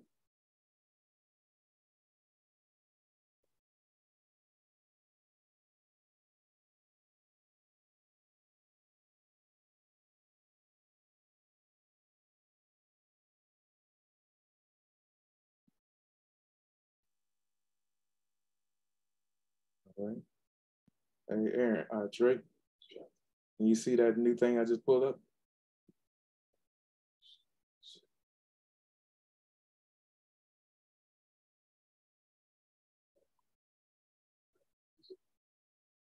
Hmm? I don't see the green around it. It lets me know we can see it.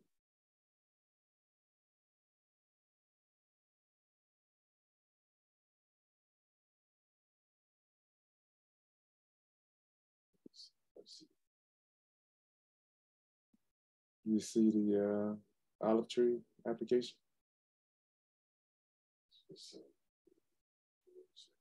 Okay. Just a moment, everybody.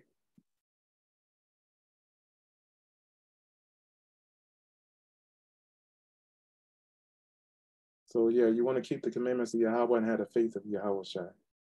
You want the kingdom. Okay, yeah, see the olive tree and also Okay, you see both of them? Mm-hmm. All right. I'm gonna show you something. Um,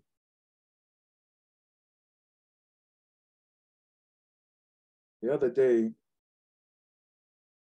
the other day, uh, I had an attack, the devil. He attacked me. And I've, you know, I come out of hospital in September and I'm still recovering. My right side, I had a stroke because my blood pressure went down too low. All right. And the devil attacked me because uh, during the night, I had uh, been woke up by the Spirit to look at some things in the scriptures. Um, and as I was looking at these things that God had given me to look at,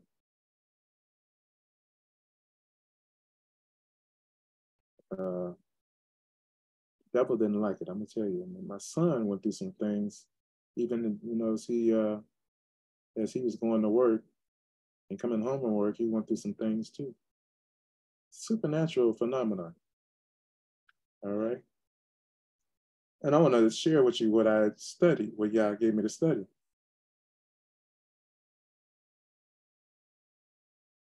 Because along with the, the, the refraining from the Sabbath day, which has something to do with the mark of the beast, there's also something else that the devil is doing to fight against Yah's kingdom.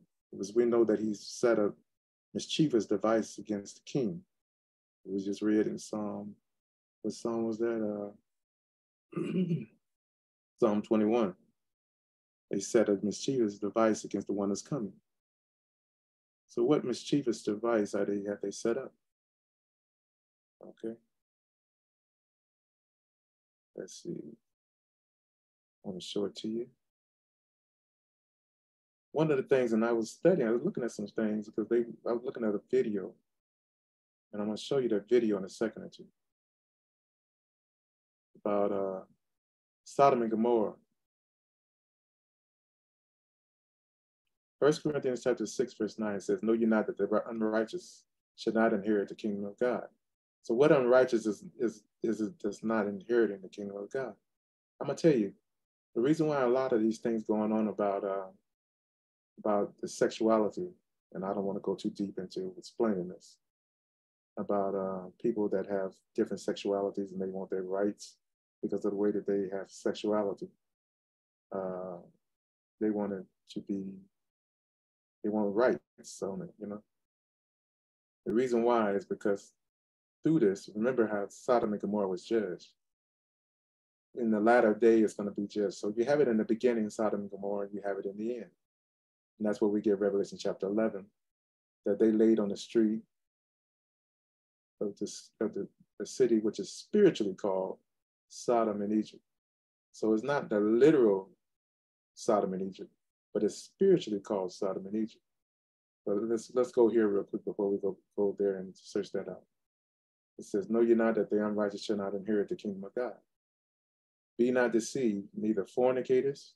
Now, this word for fornicator right here is, is Greek 4205. Let's take a look at this. Right. Normally, that fornicator is 4202, which you know females and all of that is talking about women. You know, uh, heterosexual fornication. And you see that a lot with the great whore when it's talking about her fornication. The, All nations were deceived by her, by her fornication. Pornos, right? 4205 in the Greek. A male prostitute. All right? 4205, a male prostitute. So what is it talking about here? They're not talking about females, male prostitute, uh, as vino, that is, by an analogy of debauchee, libertine, fornicator, whoremonger. So male prostitute is what it's talking about. All right, hold on just a moment. Now, what I'm getting to is that that uh, how they're going to fight against this man is really Yahawah is, is There's a reason why Yahawah came down in the very beginning to destroy Sodom and Gomorrah. He heard about it, but he come down to see. What, why was he coming down to see if he knows everything? Because he was gonna, he's gonna basically uh, experience it himself. Is what he basically was saying. All right, so neither fornicators or idolaters. We know idolaters have something to do with worshiping idols. All right, that means people that don't love the God of Israel, they worship idols. All right, a base of an image servant or worshiper. All right, it's simple. No adulterers. We studied about that, uh, adulterous people. Uh, men sleeping with married women. All right. You will not get the kingdom. Now watch this. I want to look at that word adultery. 34, 32. Let's take a look at it real quick. 34, 32. Paramour is the key to that. Uh, apostate, adultery. All right. No effeminate. What is effeminate? 31, 31, 20. We're effeminate. We not get it. So, so here's the second word that we can see that has something to do with uh, with uh, male homosexuality. All right, 3120. Of uncertain affinity, soft, that is fine clothing, figuratively a catamite, effeminate, soft. So what they used to call in ancient days, uh, effeminate people was catamites. I don't know where that word comes from. It's called malakos, but it's called a, a catamite in the Greek. All right. I think it's called it in the Old Testament too, when you look it up, catamites. No abusers of themselves with mankind. take a look at that. Greek 733. And this is on the top of the list of those that won't make it into the kingdom. So what you what what reason why I was looking this up, because it was it was saying something. Hold on just a moment. Greek 733. And the word is ar arsenokoites. Arsenokoites arsenocortes. I think that's it. Said it as good as say it. All right. A sodomite, abuser of, uh, abuser of that defiles self with mankind. Sodomite. It didn't say this person was effeminate. That means this person probably will abuse will abuse his own self with their feminine. That means he's the man. The feminine is a woman, but they both males. All right. So basically, what Yah was showing me, and now we have the other verse 10 and verse 11 thieves, covetous, drunkards, revilers, extortioners shall inherit the kingdom of God. Right? And such was some of you, but you are washed. You are washed, but you are sanctified, but you are justified in the name of the Lord Jesus by the Spirit of our God. All right? The problem with this is this is that there's going to be a lot of people saved. Let me get it like this. God was showing me there's going to be a lot of people saved, but not everybody's going to get the kingdom. Why? Because they, they a lot of people are going to be caught up. Let me highlight this real quick. And I'm not saying that I'm perfect or anything or any in any shape, form, or fashion. But uh, I will protest where there's where there needs to be some protests neither fornicators, idolaters, adulterers, or effeminate, or abusers themselves of mankind. It's at the top of the list. Why is it at the top of the list? Because this spirit, this spirit fights seriously against Yah's kingdom. That means you the, the worstest people that are strongest against Yah's kingdom are in the church. They, they're calling themselves Christian. Except they're caught up into this Sodom the spiritual, like I said, spiritual Sodom in Egypt. They caught up in the spiritual Sodom in Egypt. Okay. Yah was showing me this the other night, and uh, when I got up a little later on to go to the bathroom, the, the devil tried to throw me. It did throw me into the bathtub. Okay. He was angry and upset. That's how I knew that this is not just a sin. This is basically the man of sin's spirit. All right. You know, we see it, what is it called? Uh, and what is it? Let me go to First Thessalonians chapter First Thessalonians, or Second Thessalonians chapter 2. It's the man of sin spirit. That means he's he's he's he's strong in this. All right. And we beseech you, brethren, by the coming of our Lord Jesus Christ, and by gathering together unto him, that you be not soon shaken in mind or troubled, nor neither by spirit, nor by word, nor by letters from us, that the day of Christ is at hand. Let no man deceive you by any means, but that day shall not come except they come and fall on the way first, and that man of sin. And I like this. So basically, a person's spirit tells you all about him. All right? That this man of sin would be so powerful. His spirit is strong in the earth. Why? Because they worship him. They worship him. we just saw idolatry as one of the sins that's on the top of the list, along with these uh, Sodom, sodomite sin. Right? And that man of sin be revealed, the son of perdition. And I want to take you here to Revelation chapter 11. If I can, if y'all allow me to, the opposer so this man of sin, he wants me to say here, this man of sin, is, his spirit is sodomite. All right. And this is the reason why they won't get the kingdom. Now, that doesn't mean people that that has these problems that participate in them and just can't overcome them won't be saved. That means they won't have eternal life. That doesn't mean that. It's just that they won't get the kingdom. And what I mean by the kingdom, the kingdom is God's rule on the earth, the rule of God on the earth. It means there's going to be a certain people that's going to be ruling with God and Lord Jesus or Yahawashi on the earth. These people that's like, like this, the sodomite spirit, won't be ruling with God on the earth. All right? But it's going to fight, it's going to have a strong fight against Yahawah to keep his kingdom from coming. And the major place where it's fighting from is from what we call religion, from the church, from those that believe. And those that believe, who, it says, who opposes and exalteth himself above all that is called God, or that is worshipped, so that he as God sitteth in the temple of God, showing himself that he is God. All right. So this is where he's going to fight against Yahawah. How do you know? Let's go here. Revelation chapter 11. And while we're going there, it says, uh, Remember you know when I was yet with you, I told you these things. And now you know what withholdeth that he might be, be revealed in his time. I'm going to show you something real quick. It says, The mystery of iniquity does already work. Only he who now letteth will let until he be taken out of the way. The way taken out of the way is where you're gonna find out what how this thing happens. It says until he be taken out of the way, he that it will let until he be taken out of the way. All right. Let's see, where's that word at? Greek 1096, let's see. There it is, Gonomehi.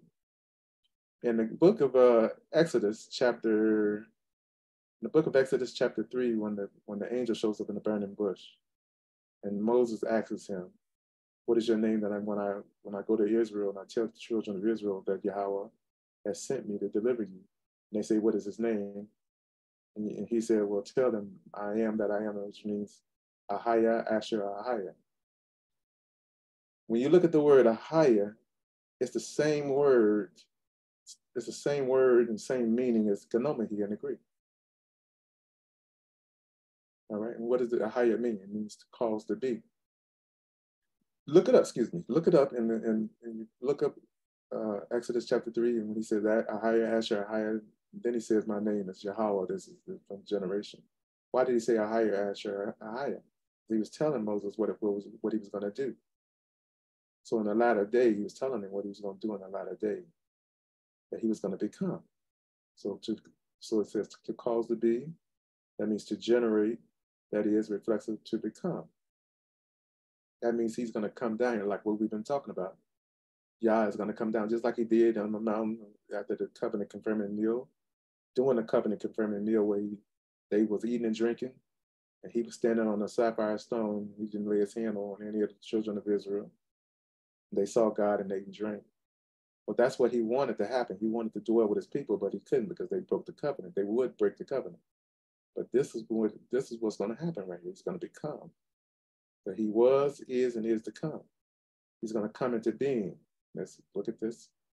So when it says that now you know what withholdeth. What Paul is saying now, I think that's Paul, yeah. Now you know what withholdeth that he might be revealed in this time. That means coming to being. All right, let's go there real quick. So he's going to become. That means he's going to come to Israel. He's going to really be with his people. All right. It says, for the mystery of iniquity that have already worked, only he will now let it will let until he be Phenomehi. What happens? He ascends. Yahawah ascends. So really, when in the latter day, Yahawah is going to be in a in a human state. And as long as he's in a human state, all right, the mystery of iniquity is just working. He, you know, it's just working, it's working and working and working. As a matter of fact, the devil wants this to go on forever, just like it is going on today. But when this man is taken out of the way, that means when he sins, what we just saw in the scriptures, Psalm uh, 47, that he's taken up into heaven with a shout. And Yahawah with the sound of a trumpet, when he's taken out of the way, verse verse 8 of Second Thessalonians chapter 2, then shall that wicked be revealed. So what's keeping him from being revealed? Yahawah not becoming. So he's going to be in the world in the latter days where it's going to be so wicked. But when he's taken, when he's when his job is complete, all right, when it's time for him to be revealed like lightning from the east to the west, he's going to be taken out of the world. He's going to sin. So let me read that again. For the mischief and iniquity that have already worked, only he will now let it will let until be taken out of the way. To who be taken out of the way? And to Yahawah, that one that is really Yahawah. That's the king that sits on the throne. He's taken out of the way. What happens to him? He goes up, he gets glorified. While that happens, when that happens, this wicked is going to basically try to take his position as Yahawah and sit on the throne.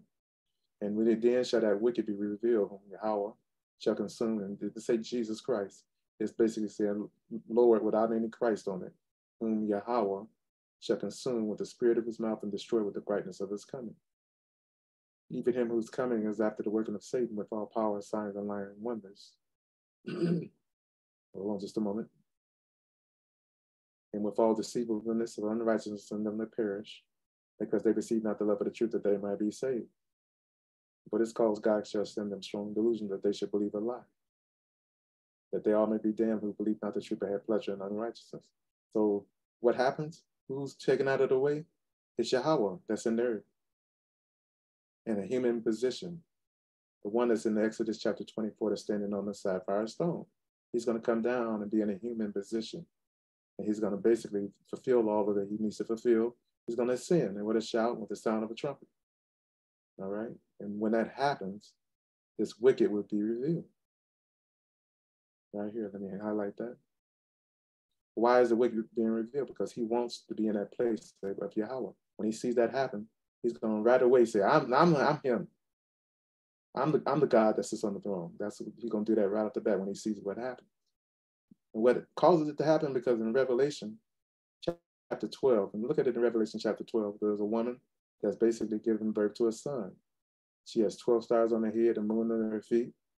All right. And uh, that there's a dragon that's trying to destroy the child as soon as it's born and standing before the woman. All right. What happens? He gets, he gets caught up in the God into his throne from her womb. She gives birth to a child. Man, as a matter of fact, to a man child who is as a fulfillment of Isaiah 66. She gives birth to a man child who is to, rule all nations with a rod of iron. He's caught up into God into his throne. Now just look at that. Caught up into God into his throne. All right, who is that? And then there's war in heaven. After this man is caught up into God into his throne, there's war in heaven. Satan is, is fighting against Michael, and Michael kicks Satan and his angels out. And Satan and his angels come down to earth to wage war down here on earth. What happened when Satan and his angels kicked out of heaven? Here comes the Son of Man. Here comes that, that one that sits on the throne right behind him. All right.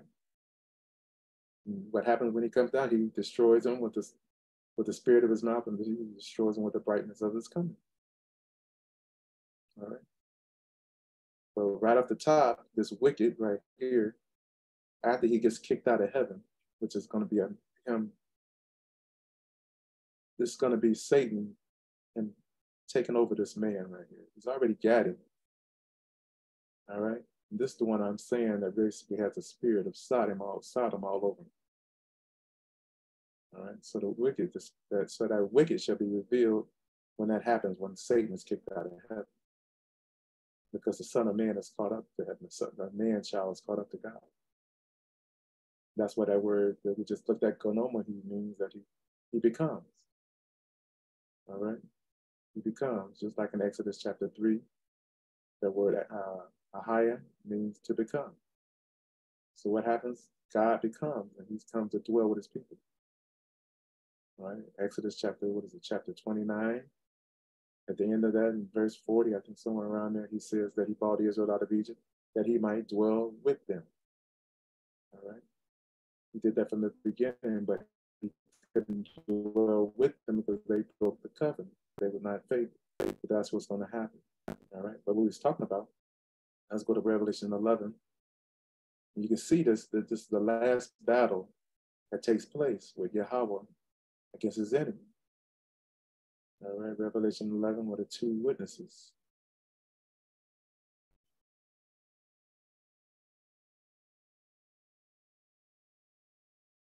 Two witnesses on there. A lot of this is symbolic, but the two witnesses are the two houses of Israel. Like the 144,000 exactly, pretty much. When they have finished their testimony, the beast that ascended out of the bottomless pit shall make war against them and shall overcome them and kill them. And their dead bodies shall lie in the street of that great city, which is called spiritually. The key to this is spiritually. Let me highlight this.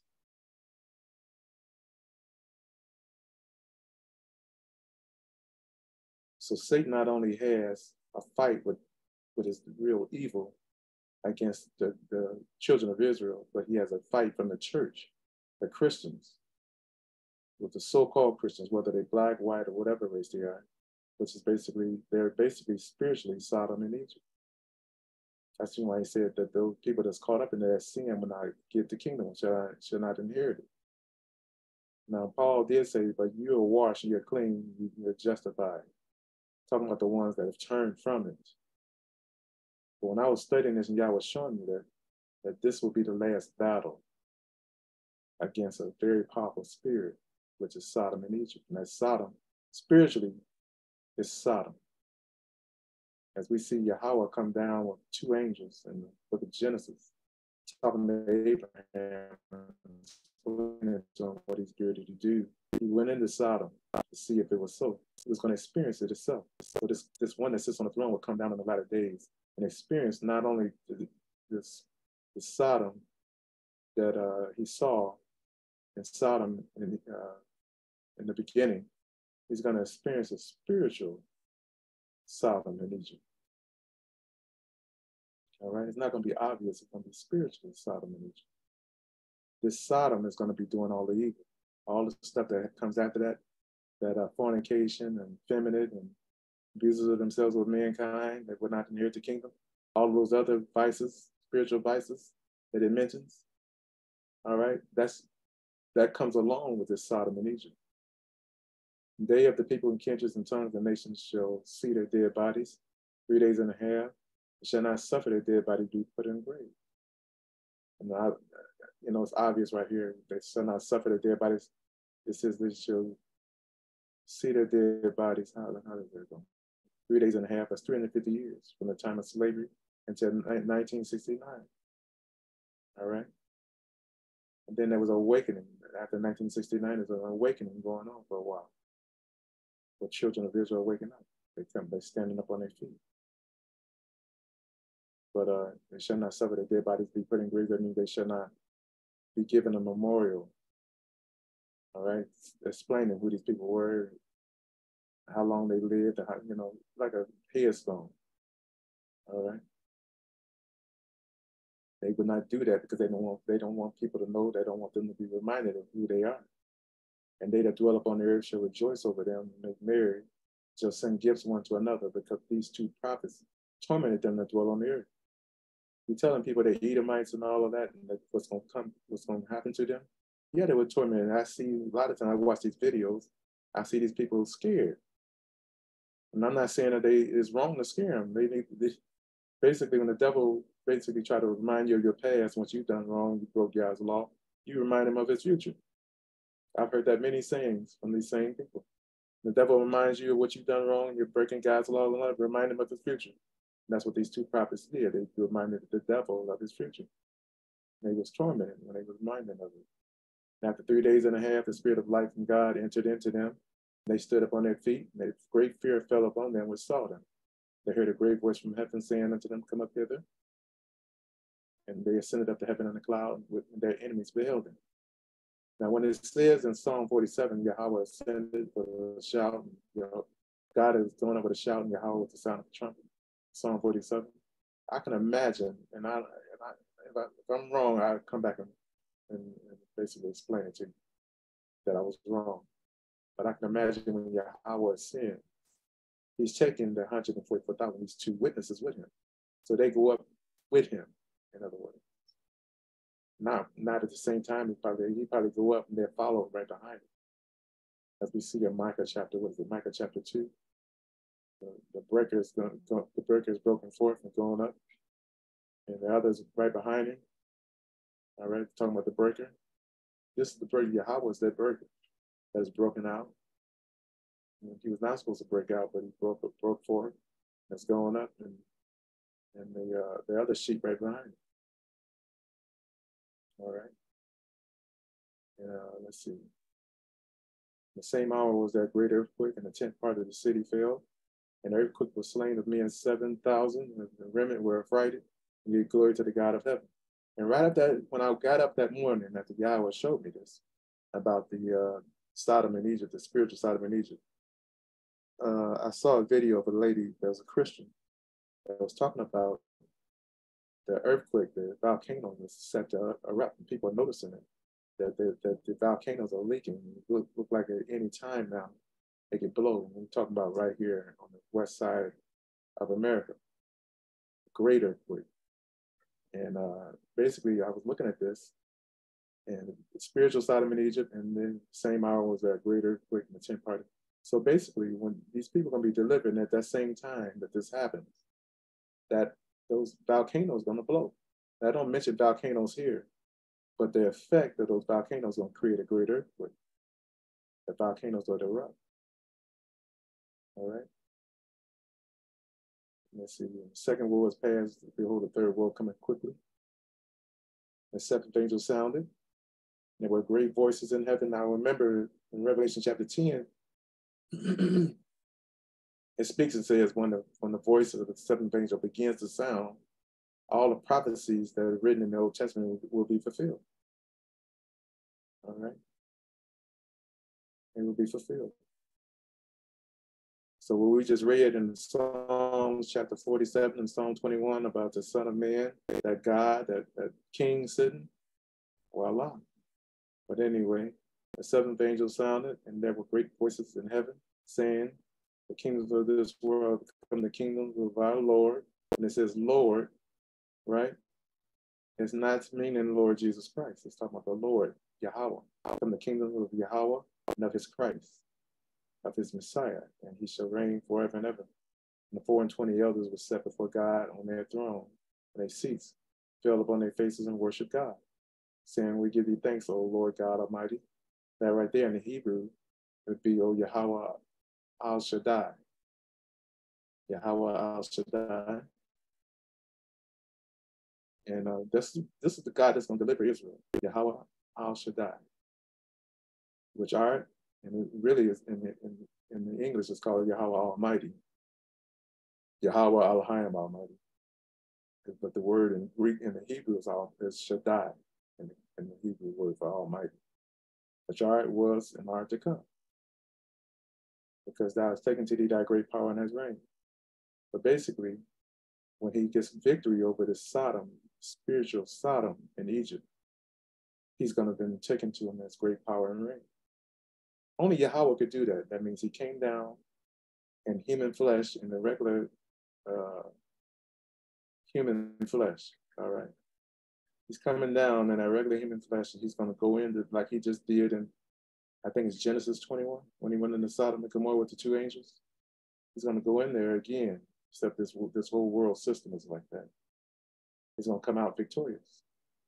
Right here it says, because thou hast taken to thee thy great power and has reigned. That means he reigned when he was on the earth, when he was when he didn't look like he was reigning. He was reigning because he was getting the victory over these things. And the nations were angry, and thy wrath has come in the time of, of the dead, that they should be judged, that thou shouldest give reward unto thy servants, the prophets, and to the saints, and to them that fear thy name, small and great, and shouldest destroy them which destroy the earth. So Yahawah is going to experience himself the toxic air, the toxic water, the toxic food. All right, he's going to go good at himself. It does say early on, let me go back up here, that the two witnesses lay, the, lay in the streets of the great city, which is called Sodom and Egypt, where also our Lord was crucified. You know, they didn't say the Lord Jesus Christ was crucified. It's talking about another crucifixion, another suffering, where Yahawah, Yahawah, Yah, or Adonai or Adon was crucified. Let's look at that 47 17. So he was crucified. How was he crucified? All right. So he suffered some type of way. All right. Sodom and Egypt, where also our Lord was crucified. So that means he's going to go through suffering in Sodom and Egypt, a spiritual Sodom and Egypt, as with his people, as well as with his people. All right. Sterile, sterile to impale on the cross figuratively, to extinguish, to subdue passion, or selflessness crucified. So, so he would, uh, right here has the first word is to impale on the cross. And it said figuratively to extinguish or subdue passion or selfishness crucify. So basically, part of his overcoming is that he subdued his passions and his selfishness and basically went through suffering, all right? But this Lord that's crucified right here is in Sodom, in a place called, spiritually called Sodom in Egypt.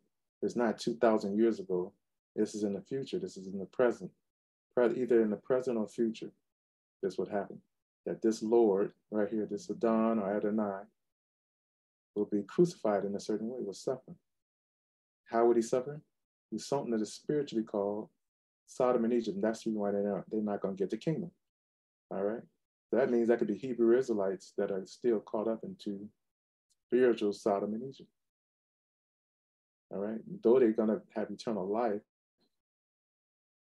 they won't get the kingdom. All right. And it's part of the reason why it's so dangerous because that spirit is part of the man of sin spirit. The man of sin, the one that's coming, that's going to try to take Yahawah's throne it's part of his spirit. And his spirit is so strong, you cut it with a knife in this area of Sodom and Egypt, especially Sodom.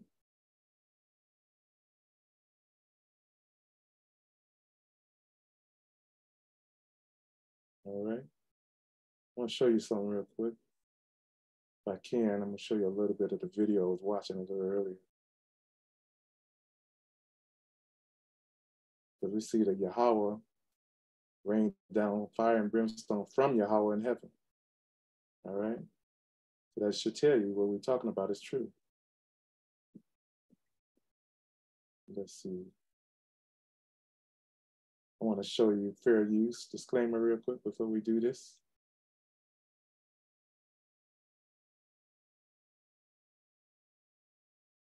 Fair use. Federal law allows citizens to reproduce, distribute, or or exhibit portions of copyrighted motion pictures, videotapes, or video discs under certain circumstances without authorization of the copyright holder.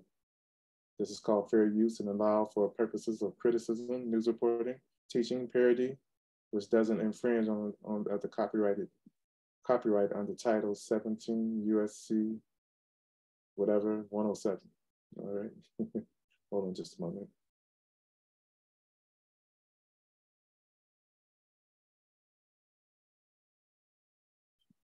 Let's go back to the video.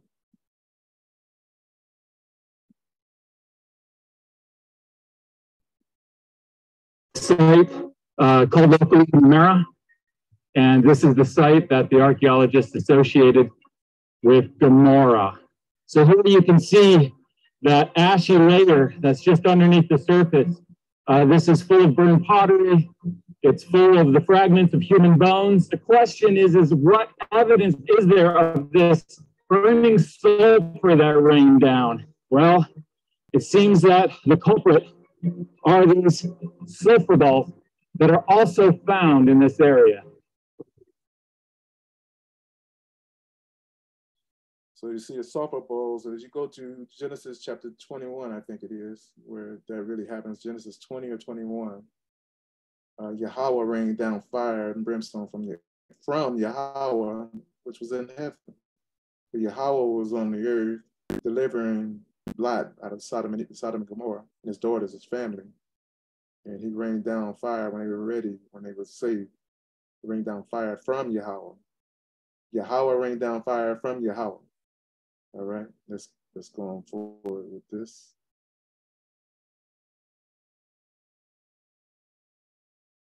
I'll show you a few things real quick because remember he's coming in flaming fire again.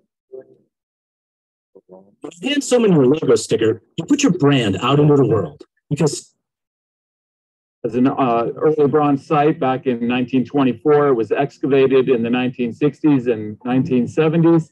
And what archaeologists found here was this uh, burn destruction that goes across this site. This city came to an end um, through a fire destruction. So here you can see this uh, ashy burn destruction layer uh, just underneath the surface, full of human uh, bone fragments, burned pottery, and it's covering the entire site.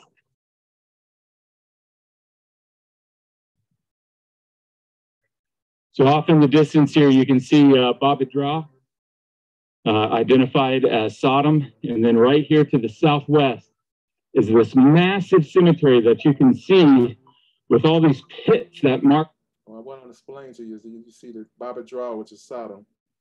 Um, you can see it. Let me see. Let me get my pointer. Behind his head, he pointed to it. We can see a lot of buildings and stuff. You see a building right there is covered covered with whatever it's covered with. But right over here, you can follow my pointer if you can see it. There's a graveyard. And in the graveyard, he even destroyed the graveyard, which showing you that he was not only destroying people that were alive, he was getting them dead too. That's what Yahweh said, now fear not him who killed a body. After killing the body can do nothing to you. But fear him who after he's destroyed the body, destroy your soul and body in hell. All right. So you're gonna see in a second or two that the bones were even warped, warped that they saw from even even destroyed the graveyard. In other words, hold on. Its boundaries, and these are formed because of the local decades have been come and digging to these great looking for antiquities to sell in the antiquity market.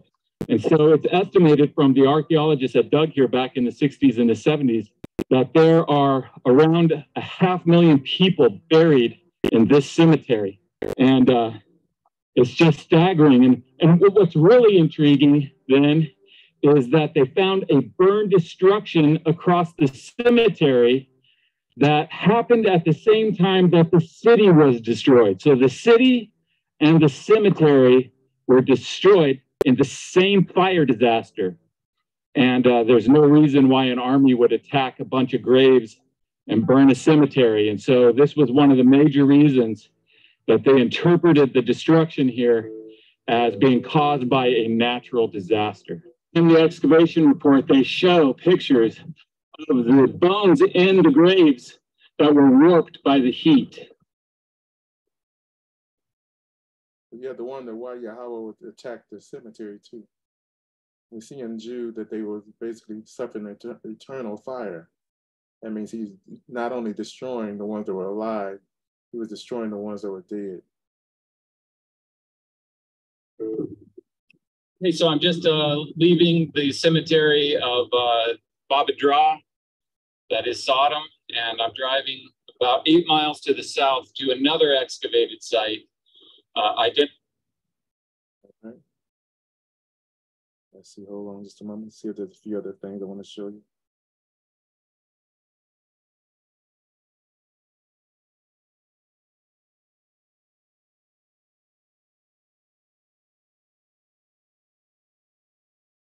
Filled with human bone remains.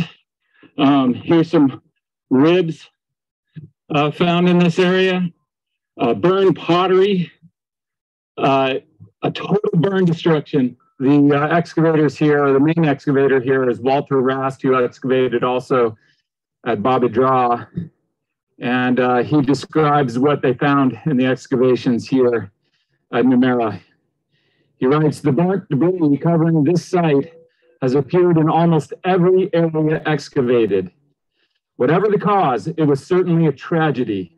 Obviously, the town suffered a severe fire and was forever abandoned. Now, despite Walter Rast being a secular archaeologist, his conclusion about uh, what he found in excavations at Bab-edh-Drah and here in Numeira were these. He says this, in the author's opinion, the vicissitudes of these two early Bronze Three cities of Bab-edh-Drah and Numeira may well be reflected in the stories of Sodom and Gomorrah in the Bible. Case of Bab-edh-Drah was destroyed by fire at the same time that its cemetery was destroyed by fire. Uh, the city was never rebuilt. This city associated with Gomorrah has a burn destruction over it. The city came to a dramatic end with the fire destruction at the same time uh, that Bab-edh-Drah was destroyed by fire. And this city was never, ever, ever lived in again. What? All right. So you can see, we're reading, you can see the skeleton over there up to the left corner, left hand upper corner. Looked like he just got destroyed, like he got hit without him really realizing what was going on. All right. But uh, as you can see, that that Sodom is different nowadays. It's spiritual. All right, according to Revelation chapter 11. All right. And basically, after it's destroyed, after that is overcome, you see Yahawah is taken to him his great power and his reign. And we see in the book of Peter that the second coming or the coming of Yahawah all right, will be with fire. Let's see, let me go here real quick.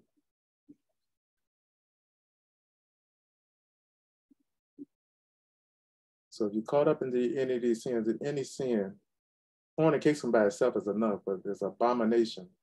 These are the sins that are spiritual abominations. All right, so you want to come up out of that. Let's see. Oops. So Peter talks about the coming of Yahawah. It's going to be with fire.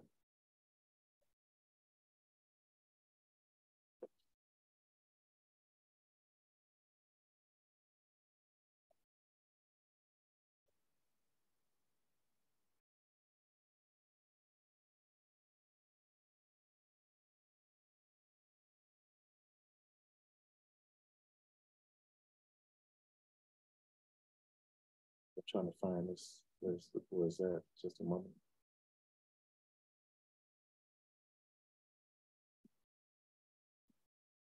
Yeah, here's the day. But The day of the Lord will come. Notice it doesn't say the return of the Lord will come.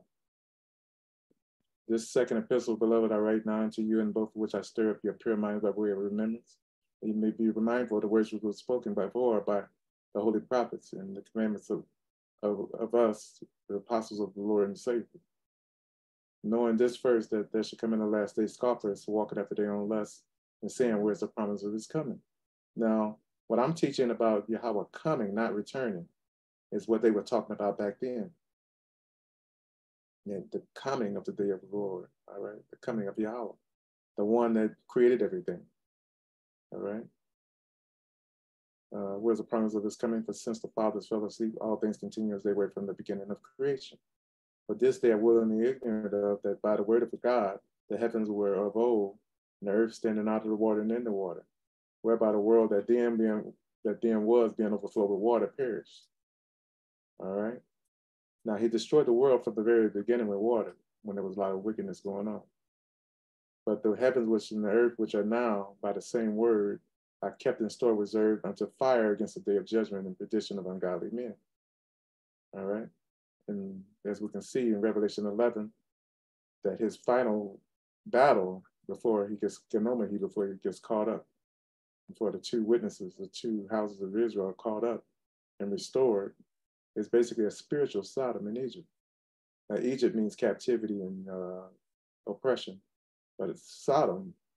And you just imagine, just look at the word, and what is it, Genesis chapter 20, 21, uh, what happened to the people and what they tried to do to the angels, which really, they were basically trying to do that to Yahawah, to the one that sits on the throne. All right? They were trying to do that to Yahawah, the one that sits on the throne. But the beloved, be not ignorant of this one thing, that one day is with Yahawah is a thousand years, and a thousand years is one day. Yahawah is not slack concerning his promises. Some here count slackness. But his long suffering toward us word, not willing that any should perish, but that all should come to repentance. But the day of Yahawah, now I want you to look at this. But the day of Yahawah, did it say the return of Yahawah? No, it's talking about the day of Yahawah will come as a thief in the night. And not talking about the Lord Jesus Christ. It said the day of Yahawah will come as a thief in the night, in which the heavens shall pass away with a great noise. We saw this in Revelation chapter 6, verse 12, 13, where the heavens will roll away like a scroll. All right, let me read that again. Uh, but the day of Yahawah will come as a thief in the night, in which the heavens shall pass away with great noise, and the elements shall melt with fervent heat. Earth also and the works there that are therein should be burned up. And that's what they said when you study that about Sodom and Gomorrah that there were some things that were melted with fervent heat. Now, anything that's so hot, it causes the burnt, the graves, the, the bones in the grave to, to, to, to be bent, to be warped. It's hot, okay? Uh, works in the earth and the works also in the works that are there and should be burned up. Seeing then that all these things should be dissolved, what manner of persons are you to be? All holy conversation in God. Looking for and hastening to the coming of the day of God wherein the heavens being on fire should be dissolved, the elements should melt with fervent heat. Nevertheless, we accord to his promise for a new heavens and a new earth wherein dwelleth righteousness. So, so those that are fighting spiritually with Sodom and Gomorrah, with Sodom, that, that wicked sin that's in the church. And I'm not just talking about the wicked in the world. We're talking about people that's spiritual, because it said they were spiritually called. Let me go back here. It was spiritually called Sodom and Egypt, spiritually and I think sometimes we look at that and we just think, oh, it's talking about just the regular wicked world. The regular wicked world is not spiritual. Let me go there real quick back.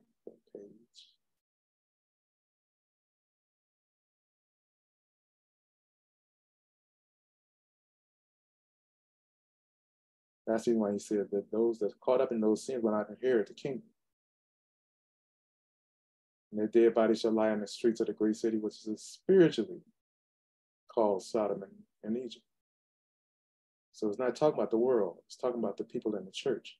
That means the world has gotten into the church to get a hold to Yah's people, to get a hold to Yahawah himself. Because it's spiritually called Sodom and Egypt, where also our Lord was crucified. All right. Now let me go to another place where we can show you You can understand that there's a place now, it's a little lighter, it's, a, it's getting off this topic about the spiritual Sodom and Gomorrah. All right, we'll go to First Timothy. But that's how I got thrown into the bathtub with something spirituals. And it not only got a hold to me, it got my son. He was on a bus. A bus broke down. He stabbed himself in the hand with, with something. What else happened, Drake? Uh, screensaver shards. Huh? Stabbed me. Yeah, you got stabbed in the finger. The bus got stopped. And he basically got in touch with me. Says, is, is there anything going on wrong there? Is anything happening to you? You know, basically letting me know that something spiritual, something was dynamically uh, supernaturally doing something. And basically, I, I just went through the same thing, and I was amazed that he it was going on with him. Basically, when I when Yah opened my mind up about this, the devil attacked me spiritually, you know. And the spiritual reality of it was real. It was it was in the physical world. All right. So that that means that this spiritual sin, sodomy, he's still angry about what Yah did to Sodom and Gomorrah thousands of years ago. And he this time he's coming back, he brought it back in style with a new twist. You know what I'm saying? I saw, was it, Steve Harvey wearing some bell bottoms the other day. And it wasn't so bailed where you it was just out of just out of whack. Like, man, look at them bell bottoms. It was just a little bit kind of flared at the at the foot. You know what I'm saying? Back in the 70s, bell bottoms was all, all over the place. All right. It's coming back with a new twist. When styles go out, and when they come back with Afro and all that, they come back, come twist. The same way with Sodom. When Sodom come back, when it's come back, to be honest with you, but it's come back with a new twist. Spiritual Sodom. That means you got churches that are basically ran by people that's still struggling with this, with these sins. You got some churches that literally have the pastor and the religious leader declaring that they are voila, that they are those people. All right, but it's so it's so strong. You can tell that that's what the man of sin is going to have with him. His spirit basically is the spirit of Sodom and Egypt. All right. We'll talk some more about this, you know, maybe next week.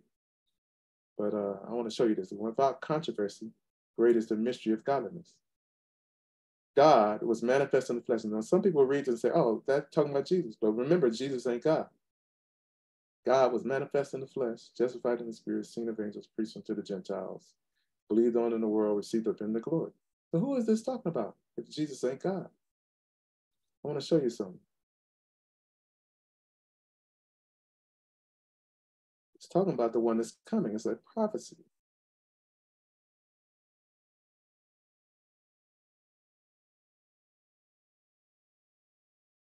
Thirty-four sixty-six is the word for mystery in the Greek.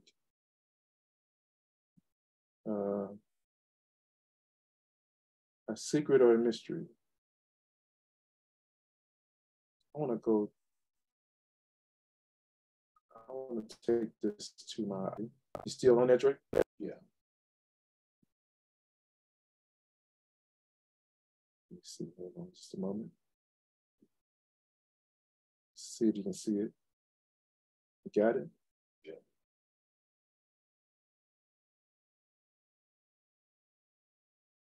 I want to get on here and see if I can get this word for mystery. Get an exhaustive concordance on it.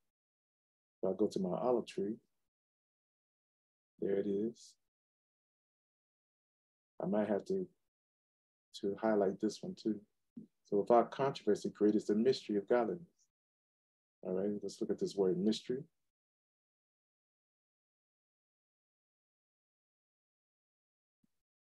Can you see that? Huh? Can't, oh yeah, I can. Can't see it? Yeah, it was just delayed. I can see it. Okay. Can you see that? You scrolling? yeah. Okay. So it's 3466 in the Greek. Basically, it's a mystery. Great is the mystery of godliness. And let's look at this word mystery. What does it mean, the mystery of godliness?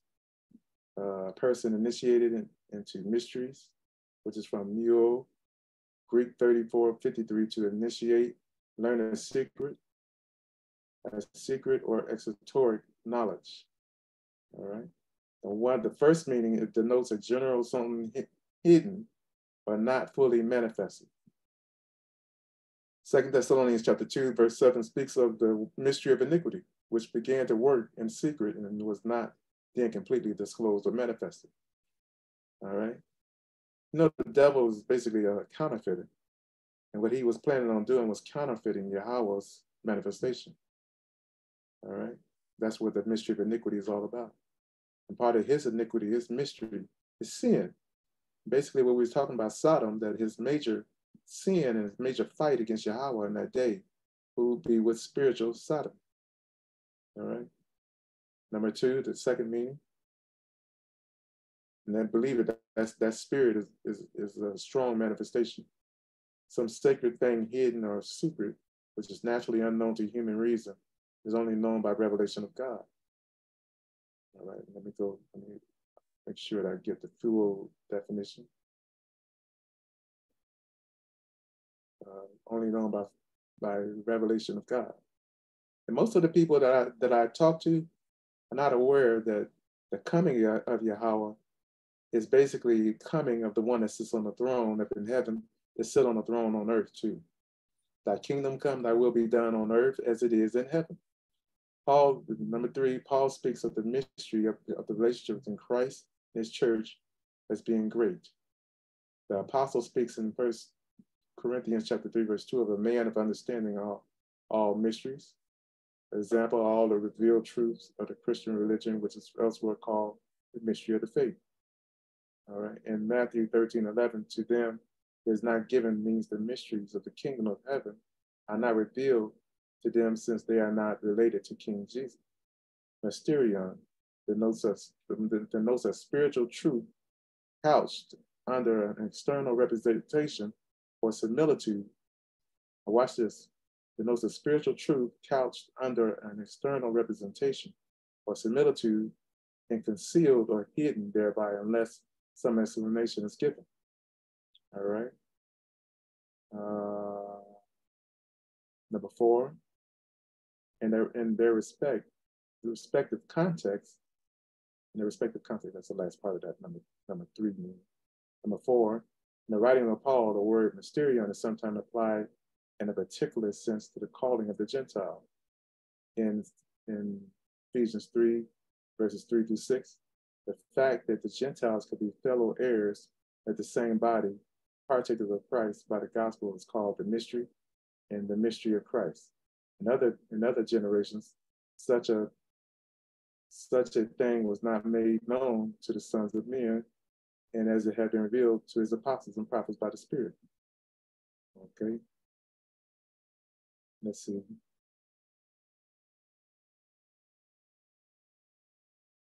But the real thing that I was trying to get to, I, wrote, I read right over is, is number two meaning.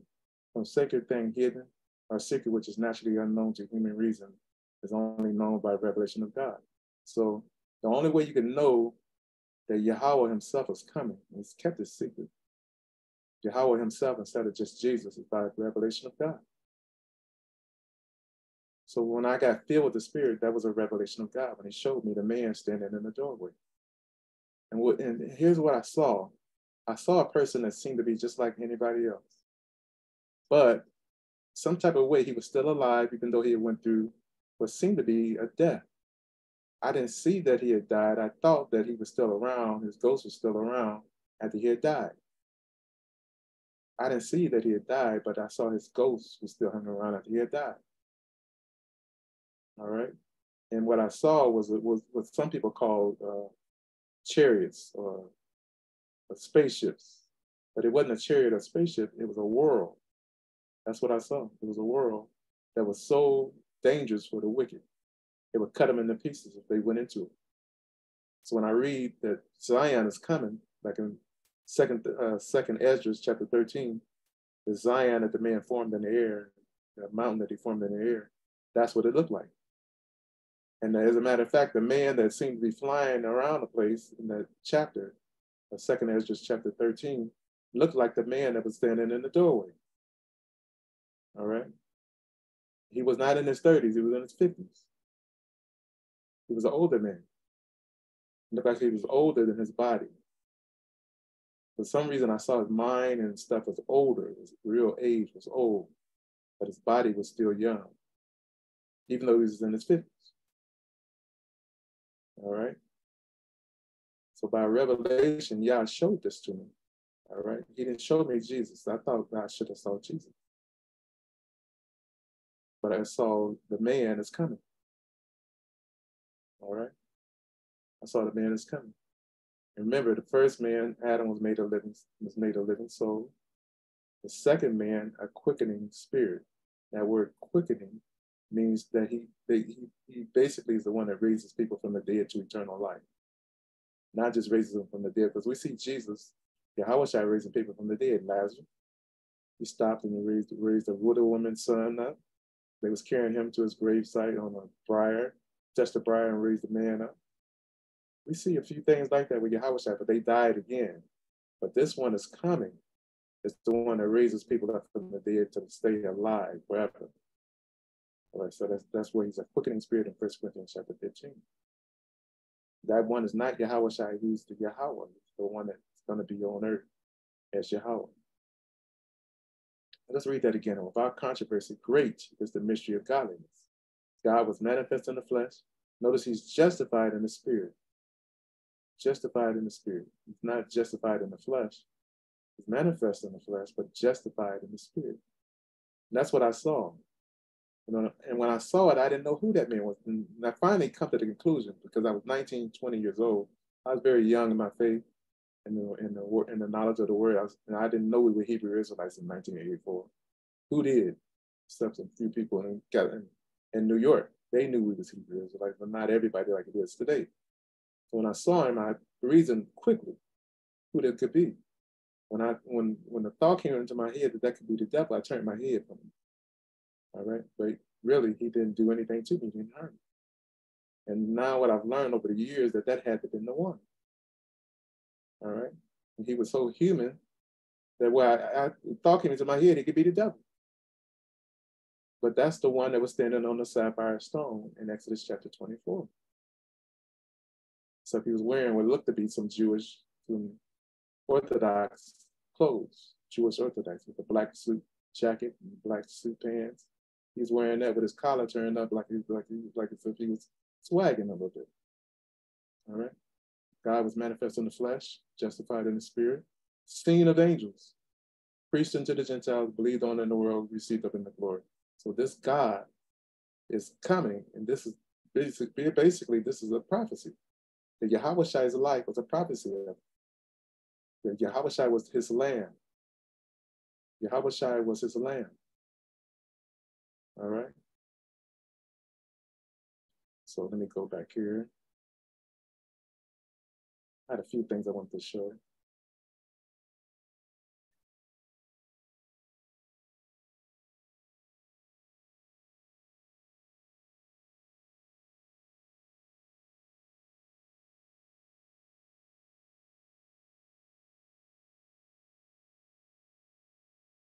And some people would go to the scripture in Hebrews and say that the scripture in Hebrews is, is taken from the uh, from the uh, what is it, Septuagint. All right, about Yahweh uh, in Psalm 45. But Hebrews chapter 1 has the same scriptures. It's quoting from Psalm 45. All right. And, and it says that, let me go to the beginning of this chapter so you can see it's talking about. I want to explain it. Some people say, no, I don't believe that because Hebrews chapter 1 says this. I don't want to try to explain this real quick. Excuse me. God, who has sundry times and in diverse manners spake in time past by the Father, to the fathers, by the prophets, as in these last days spoken unto us by his Son, whom he ever appointed heir of all things, by whom he also made the worlds, who being the brightness of his glory and express image of his person, and upholding all things by the word of his power, when he had by himself purged our sins, sat down at the right hand of the majesty on high. Now, right here it says he being the brightness of his glory. The point is this, that Yahweh basically is the Father. All right. But at the same time, in order to come down on the earth, he's going to have to be the Son. So basically, the reason why I saw in the vision, I told you a little earlier in the video, the reason why I believe I saw Yahweh looking like exactly like me, he's showing me and revealing it to me what he had been showing me all along, that um, that he would have to be the same person almost as the Son of God, the Son of Yah that really is Yah, to be his be his lamb. So if he is the lamb, that means uh, the burnt offering for Yahweh. Just like the just like Isaac was going to be the burnt offering for Abraham. Yet this this person, Jesus Christ, would be the burnt offering for Yahweh, his father. So that person that's, that's, that's going to be a burnt offering for will be in the earth in the latter days. All right, I hope you understand that. He'd be in earth in the latter days. All right. But he would look, if you was to go back, let me put it this way, if you was to go back in time on a time machine and see Yahawashi, and you come to come to the come forward and you see that person, he would look just like him. He would he, he would look just like him. So he was sacrificing for that person who really is the father, but would be in a position as the son. So sometimes when you read the scriptures and it's talking about the Son of God, sometimes you have to look and say, what about the Son that's coming? That he was the lamb, that, that Christ was the lamb for. You have to look at it like that. Who being the brightness of his glory, the express image of his person. See that? The express image of his person. That means that what Yahweh showed me in that dream was correct. That the one that Yahweh will be sacrificing for, which would be for the whole world, but especially for the Father, where he would look just like him. He'd be just like him. We'd have all the stuff that's just like the Father, and what he's going to be in the earth in a lot of days when he comes down in glory. The express image of his person. See that? And upholding all things by the word of his power, when he had by himself purged our sins, sat down on the right hand at the majesty on high. So why is he sitting on the right hand of the majesty on high? He was sitting to the latter days when Yahweh would come. That's why Yahweh said, sit down my right hand till I make thine enemies thy footstool. So he would come down into the earth and, and battle, basically. Hold on just a moment. Being made so much better than the angels as he had by, by inheritance obtained a more excellent name than they. For to which of the angels has he at any time, as he said at any time, thou art my son, this day have I begotten you. And again, I will be to him a father, he should be, be to me a son. And again, when he bringeth in the first begotten into the world, he saith, and let the, all the angels of God worship him. And of the, of the angels, he saith, who maketh his angels spirits and his ministers a flame of fire. Now remember too, in Second, Second Thessalonians chapter one, it says that Yahweh and the, and the mighty angels of heaven to be manifested as flaming fire, taking vengeance on those that know not God, that do not keep his commandments. All right. So when, when Yahweh comes, when he's glorified, he comes as the ancient of days. He has all that fire around him that, that it's saying that Yahawashi and the angels will be manifested as that fire that he has around him. All right. This is for the second coming of Yahawashi. So we see Yahawashi coming after the after the after the ancient of days takes vengeance. All right, but he's gonna be he's gonna be taking vengeance with Yahawashi and, and, and manifested as flames of fire. Him and the angels. And of the angels, he said, who maketh his angels spirits and his ministers a flame of fire. All right, let's see. But unto the Son, he said, Thy throne, O God, is forever and ever. So you, that's you know you got to read it like that. If you know that the Son, that Yahweh, is going to manifest in the earth, then he would have to be in a position of a son, while he is really the Father in the Son. Now, this is where the Trinity almost sounds correct. But the Trinity says that God is three, pers- three, three persons, three in one. How can I put it? That God, but they three different persons. But what I got out of this is that the Father and the Son and the Holy Spirit is the same thing. They're the same person. It's just that he's over here, he's, he's over here sitting on the throne in heaven. He's over here sitting on the throne on the earth. He's called the Son on the earth sitting over here, but he's called the Father in heaven sitting on the throne up in heaven. But we all know that he's really Yahweh as the Son. I hope I'm not confusing anybody. But unto the Son, he says, Thy throne, O God, is forever and ever. A scepter of righteousness is a scepter of thy kingdom. Thou hast loved righteousness and hated iniquity. Therefore, God, even thy God, has anointed thee with the oil of gladness above thy fellows. And remember in Revelation 21, he said, He that overcometh shall inherit all things. Who would inherit all things? And I will be his God, and he should be my son. Who will inherit all things? And some people overlook over that and just say, all of us inherit all things. No, not everybody's going to inherit all things. Somebody's inheriting all things.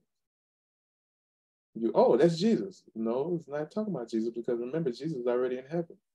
It's talking about he that overcomer. Future, he that overcomer.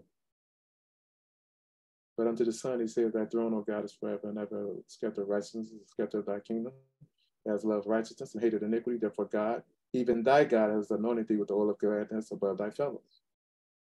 And thou, Lord, scroll up, and thou, Lord, in the beginning has laid the foundation of the earth and the heavens are the works of thine hand. So basically, it's telling you that this person that he's calling Lord right here is, and he's calling him the Son of God, he is Yahweh himself. But Yahawashi is not Yahweh himself. He's the Lamb of Yah. He's the Lamb of Yah. So when you look at these scriptures and you see them talking, you have to also remember these things. Thou, Lord, in the beginning laid the foundation. Now we know that Yah- Yahweh in John chapter 1 said that all things were created with, through him, through the, through the one that basically would come is called Jesus Christ. That Yah basically created him in the beginning and he put him on like a garment and created everything else with him on. That's how Yah created everything. He put Yahweh on before he became known as Yahweh. Put him on and created everything, the heavens and the earth. And thou, Yahweh, in the beginning has laid the foundation of the earth. And the heavens are the works of thy hand. They shall perish, but thou remainest. They shall wax, all shall wax old as a garment. And as a vesture shalt thou, let's see, hold on just a moment. Shalt thou fold them up, and they shall be changed. But thou art the same, and thy years shall not fail. So I wanted to explain that. That's how you got to read the scriptures because in the in the New Testament it's kind of it's a it's more of a mystery to me in the New Testament than it is in the Old Testament. In the Old Testament, you see Yahweh is going, God is going up with a shout. Yahweh with the sound of a trumpet. God is the king of all the earth. Yahweh is the king of all the earth. You see that just plain there. But in the New Testament, it basically has some mysteries going on. Great is the mystery of godliness. And basically, you have to have some revelation to really figure that thing out. Is Yahweh God? Or is he just the Lamb of God? You know, you have to have some you have to have some revelation to figure it out. But let me let you go. I think I've been on here long enough. I believe I've been on here long enough. But uh, it's really a, it's really a heck of a thing that Yahweh would do that. But his really his major purpose to bring in Israel out of Egypt so that he might dwell among them. I don't think he's just dwelling among them just in the spiritual spiritual sense. He's dwelling literally among them. Exodus chapter 29. Let me see if I can go there real quick before I let you go. So he's going to basically dwell in, in Revelation chapter 7. It says he that's the one that sits on the throne shall dwell among the people. So let's go to Exodus.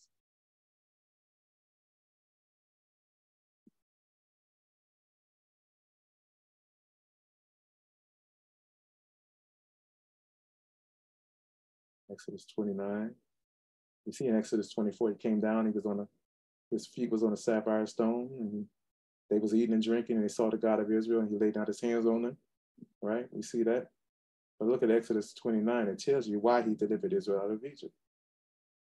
You know, Revelation chapter 11 says that they dwelt, they laid, their bodies lay dead in the streets of the city, which is spiritually called Sodom and Egypt. Okay, let's see. And Exodus 29, 45, and I will dwell among the children of Israel and will be their God. And they shall know that I am Yahweh, their Elohim, and that I, that that brought them forth out of the land of Egypt, that I may dwell among them. I am Yahweh, their Elohim. That word dwell basically really means that to tabernacle. Just like Revelation 7 says, he will dwell, the one that sits on the throne, will dwell among the people. Let's see, hold on just a moment. 7931 in the Hebrew. Shakan is the word for dwell. Uh, the idea of lodging. Let me highlight that real quick. Lodging. You don't spiritually lodge around somebody. But if you look like that devil that threw me in the bathtub the other day, you just won't be able to see somebody, but he, he's doing some wicked stuff. No, that, that's not what Yahweh would do because he showed up to the children of Israel when the covenant confirming meal was being eaten. He showed up with a sapphire stone underneath his feet. And he didn't lay his hands on the children of Israel. They saw God ate and drank.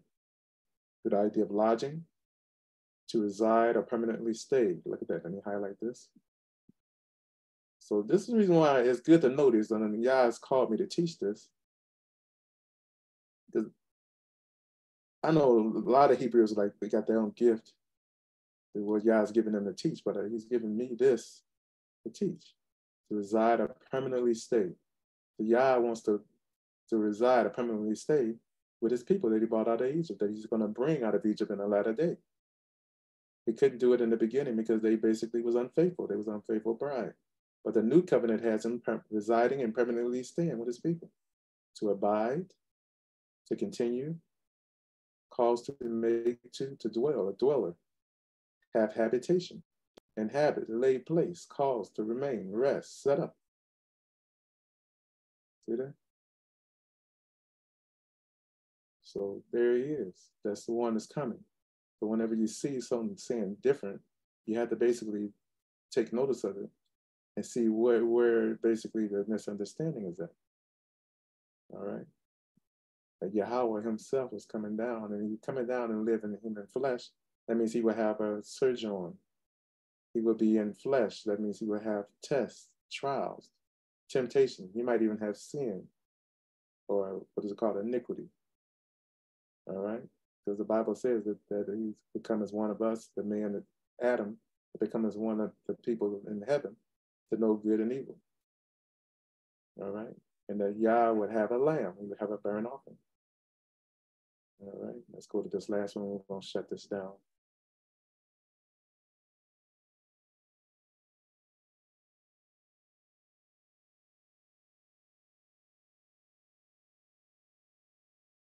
So this should make you kind of, if you, you love Yahweh, this should make you happy. That Yah is going to know everybody. He's going to know all his people.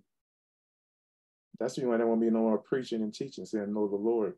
We're going to all know him from the least unto the greatest. So let's go to Revelation chapter 7. That means he's going to he's, he's going to be one of the dwellers among the people. All right. Like he said, you shall know that I'm Yahweh Yahweh I am, and where we just come from. All right. There's 144,000 of Israel sealed.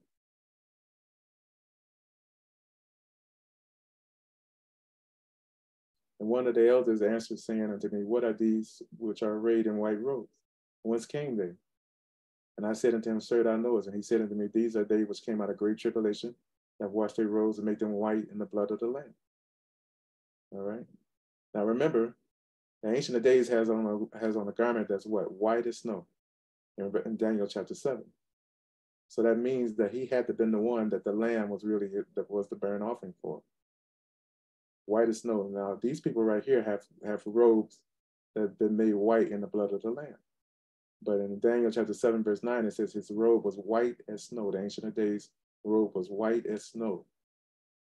Therefore are they before the throne of God and serve him day and night in his temple. He that sitteth on the throne shall dwell among the people, dwell among them. Let me highlight this whole thing. That whole chapter, that whole scripture right there, Revelation 7 15. He that sits on the throne will what? Dwell among them.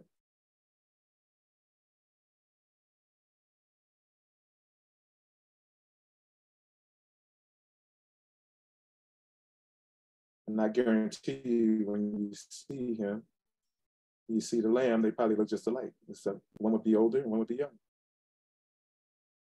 Therefore are they before the throne of God and serve him day and night in his temple, and he that sitteth on the throne shall dwell among them. He that sitteth on the throne shall dwell among them. So if you want to find out somebody sitting on the throne, who? Go to Revelation chapter 4. it talks about the one sitting on the throne. Yahweh himself, the Ancient of Days, Daniel chapter 7, verse 9. They shall hunger no more, neither thirst anymore, neither shall the sun light on them anymore, or, nor any heat. For the land which is in the midst of the throne shall feed them, and shall lead them into living fountains of waters, and God shall wipe away all their tears from their eyes. All right? God's going to make it all make sense. The lamb's going to feed them. This in the midst of the throne shall feed them and lead them to living fountains of waters. So I'm not trying to take the, the Yahweh's glory from him. That's not my point. That's not my point on this. I'm trying to get you to see that the one that's coming is Yahweh. The coming of Yahweh, not the return of Yahweh, the coming of Yahweh. But Yahweh is basically, you, like I just said, when you see him, you're going to see a younger looking Yahweh. You're going to see that he was the lamb of Yahweh. He was the burnt offering. And he does, you know, like they did in Revelation chapter 5, they gave him glory, worshiped him, they bowed down, sang songs to him. for what he did because he done something that basically none of us could do. He done something none of us could do. Hallelujah. But anyway, let me let you go. I would like to ask if there's anybody that's on me on the screen with me right now. Anybody still on? If they have any questions, if they have any questions, you can hurry up and ask. If not, we're going to end this Bible study.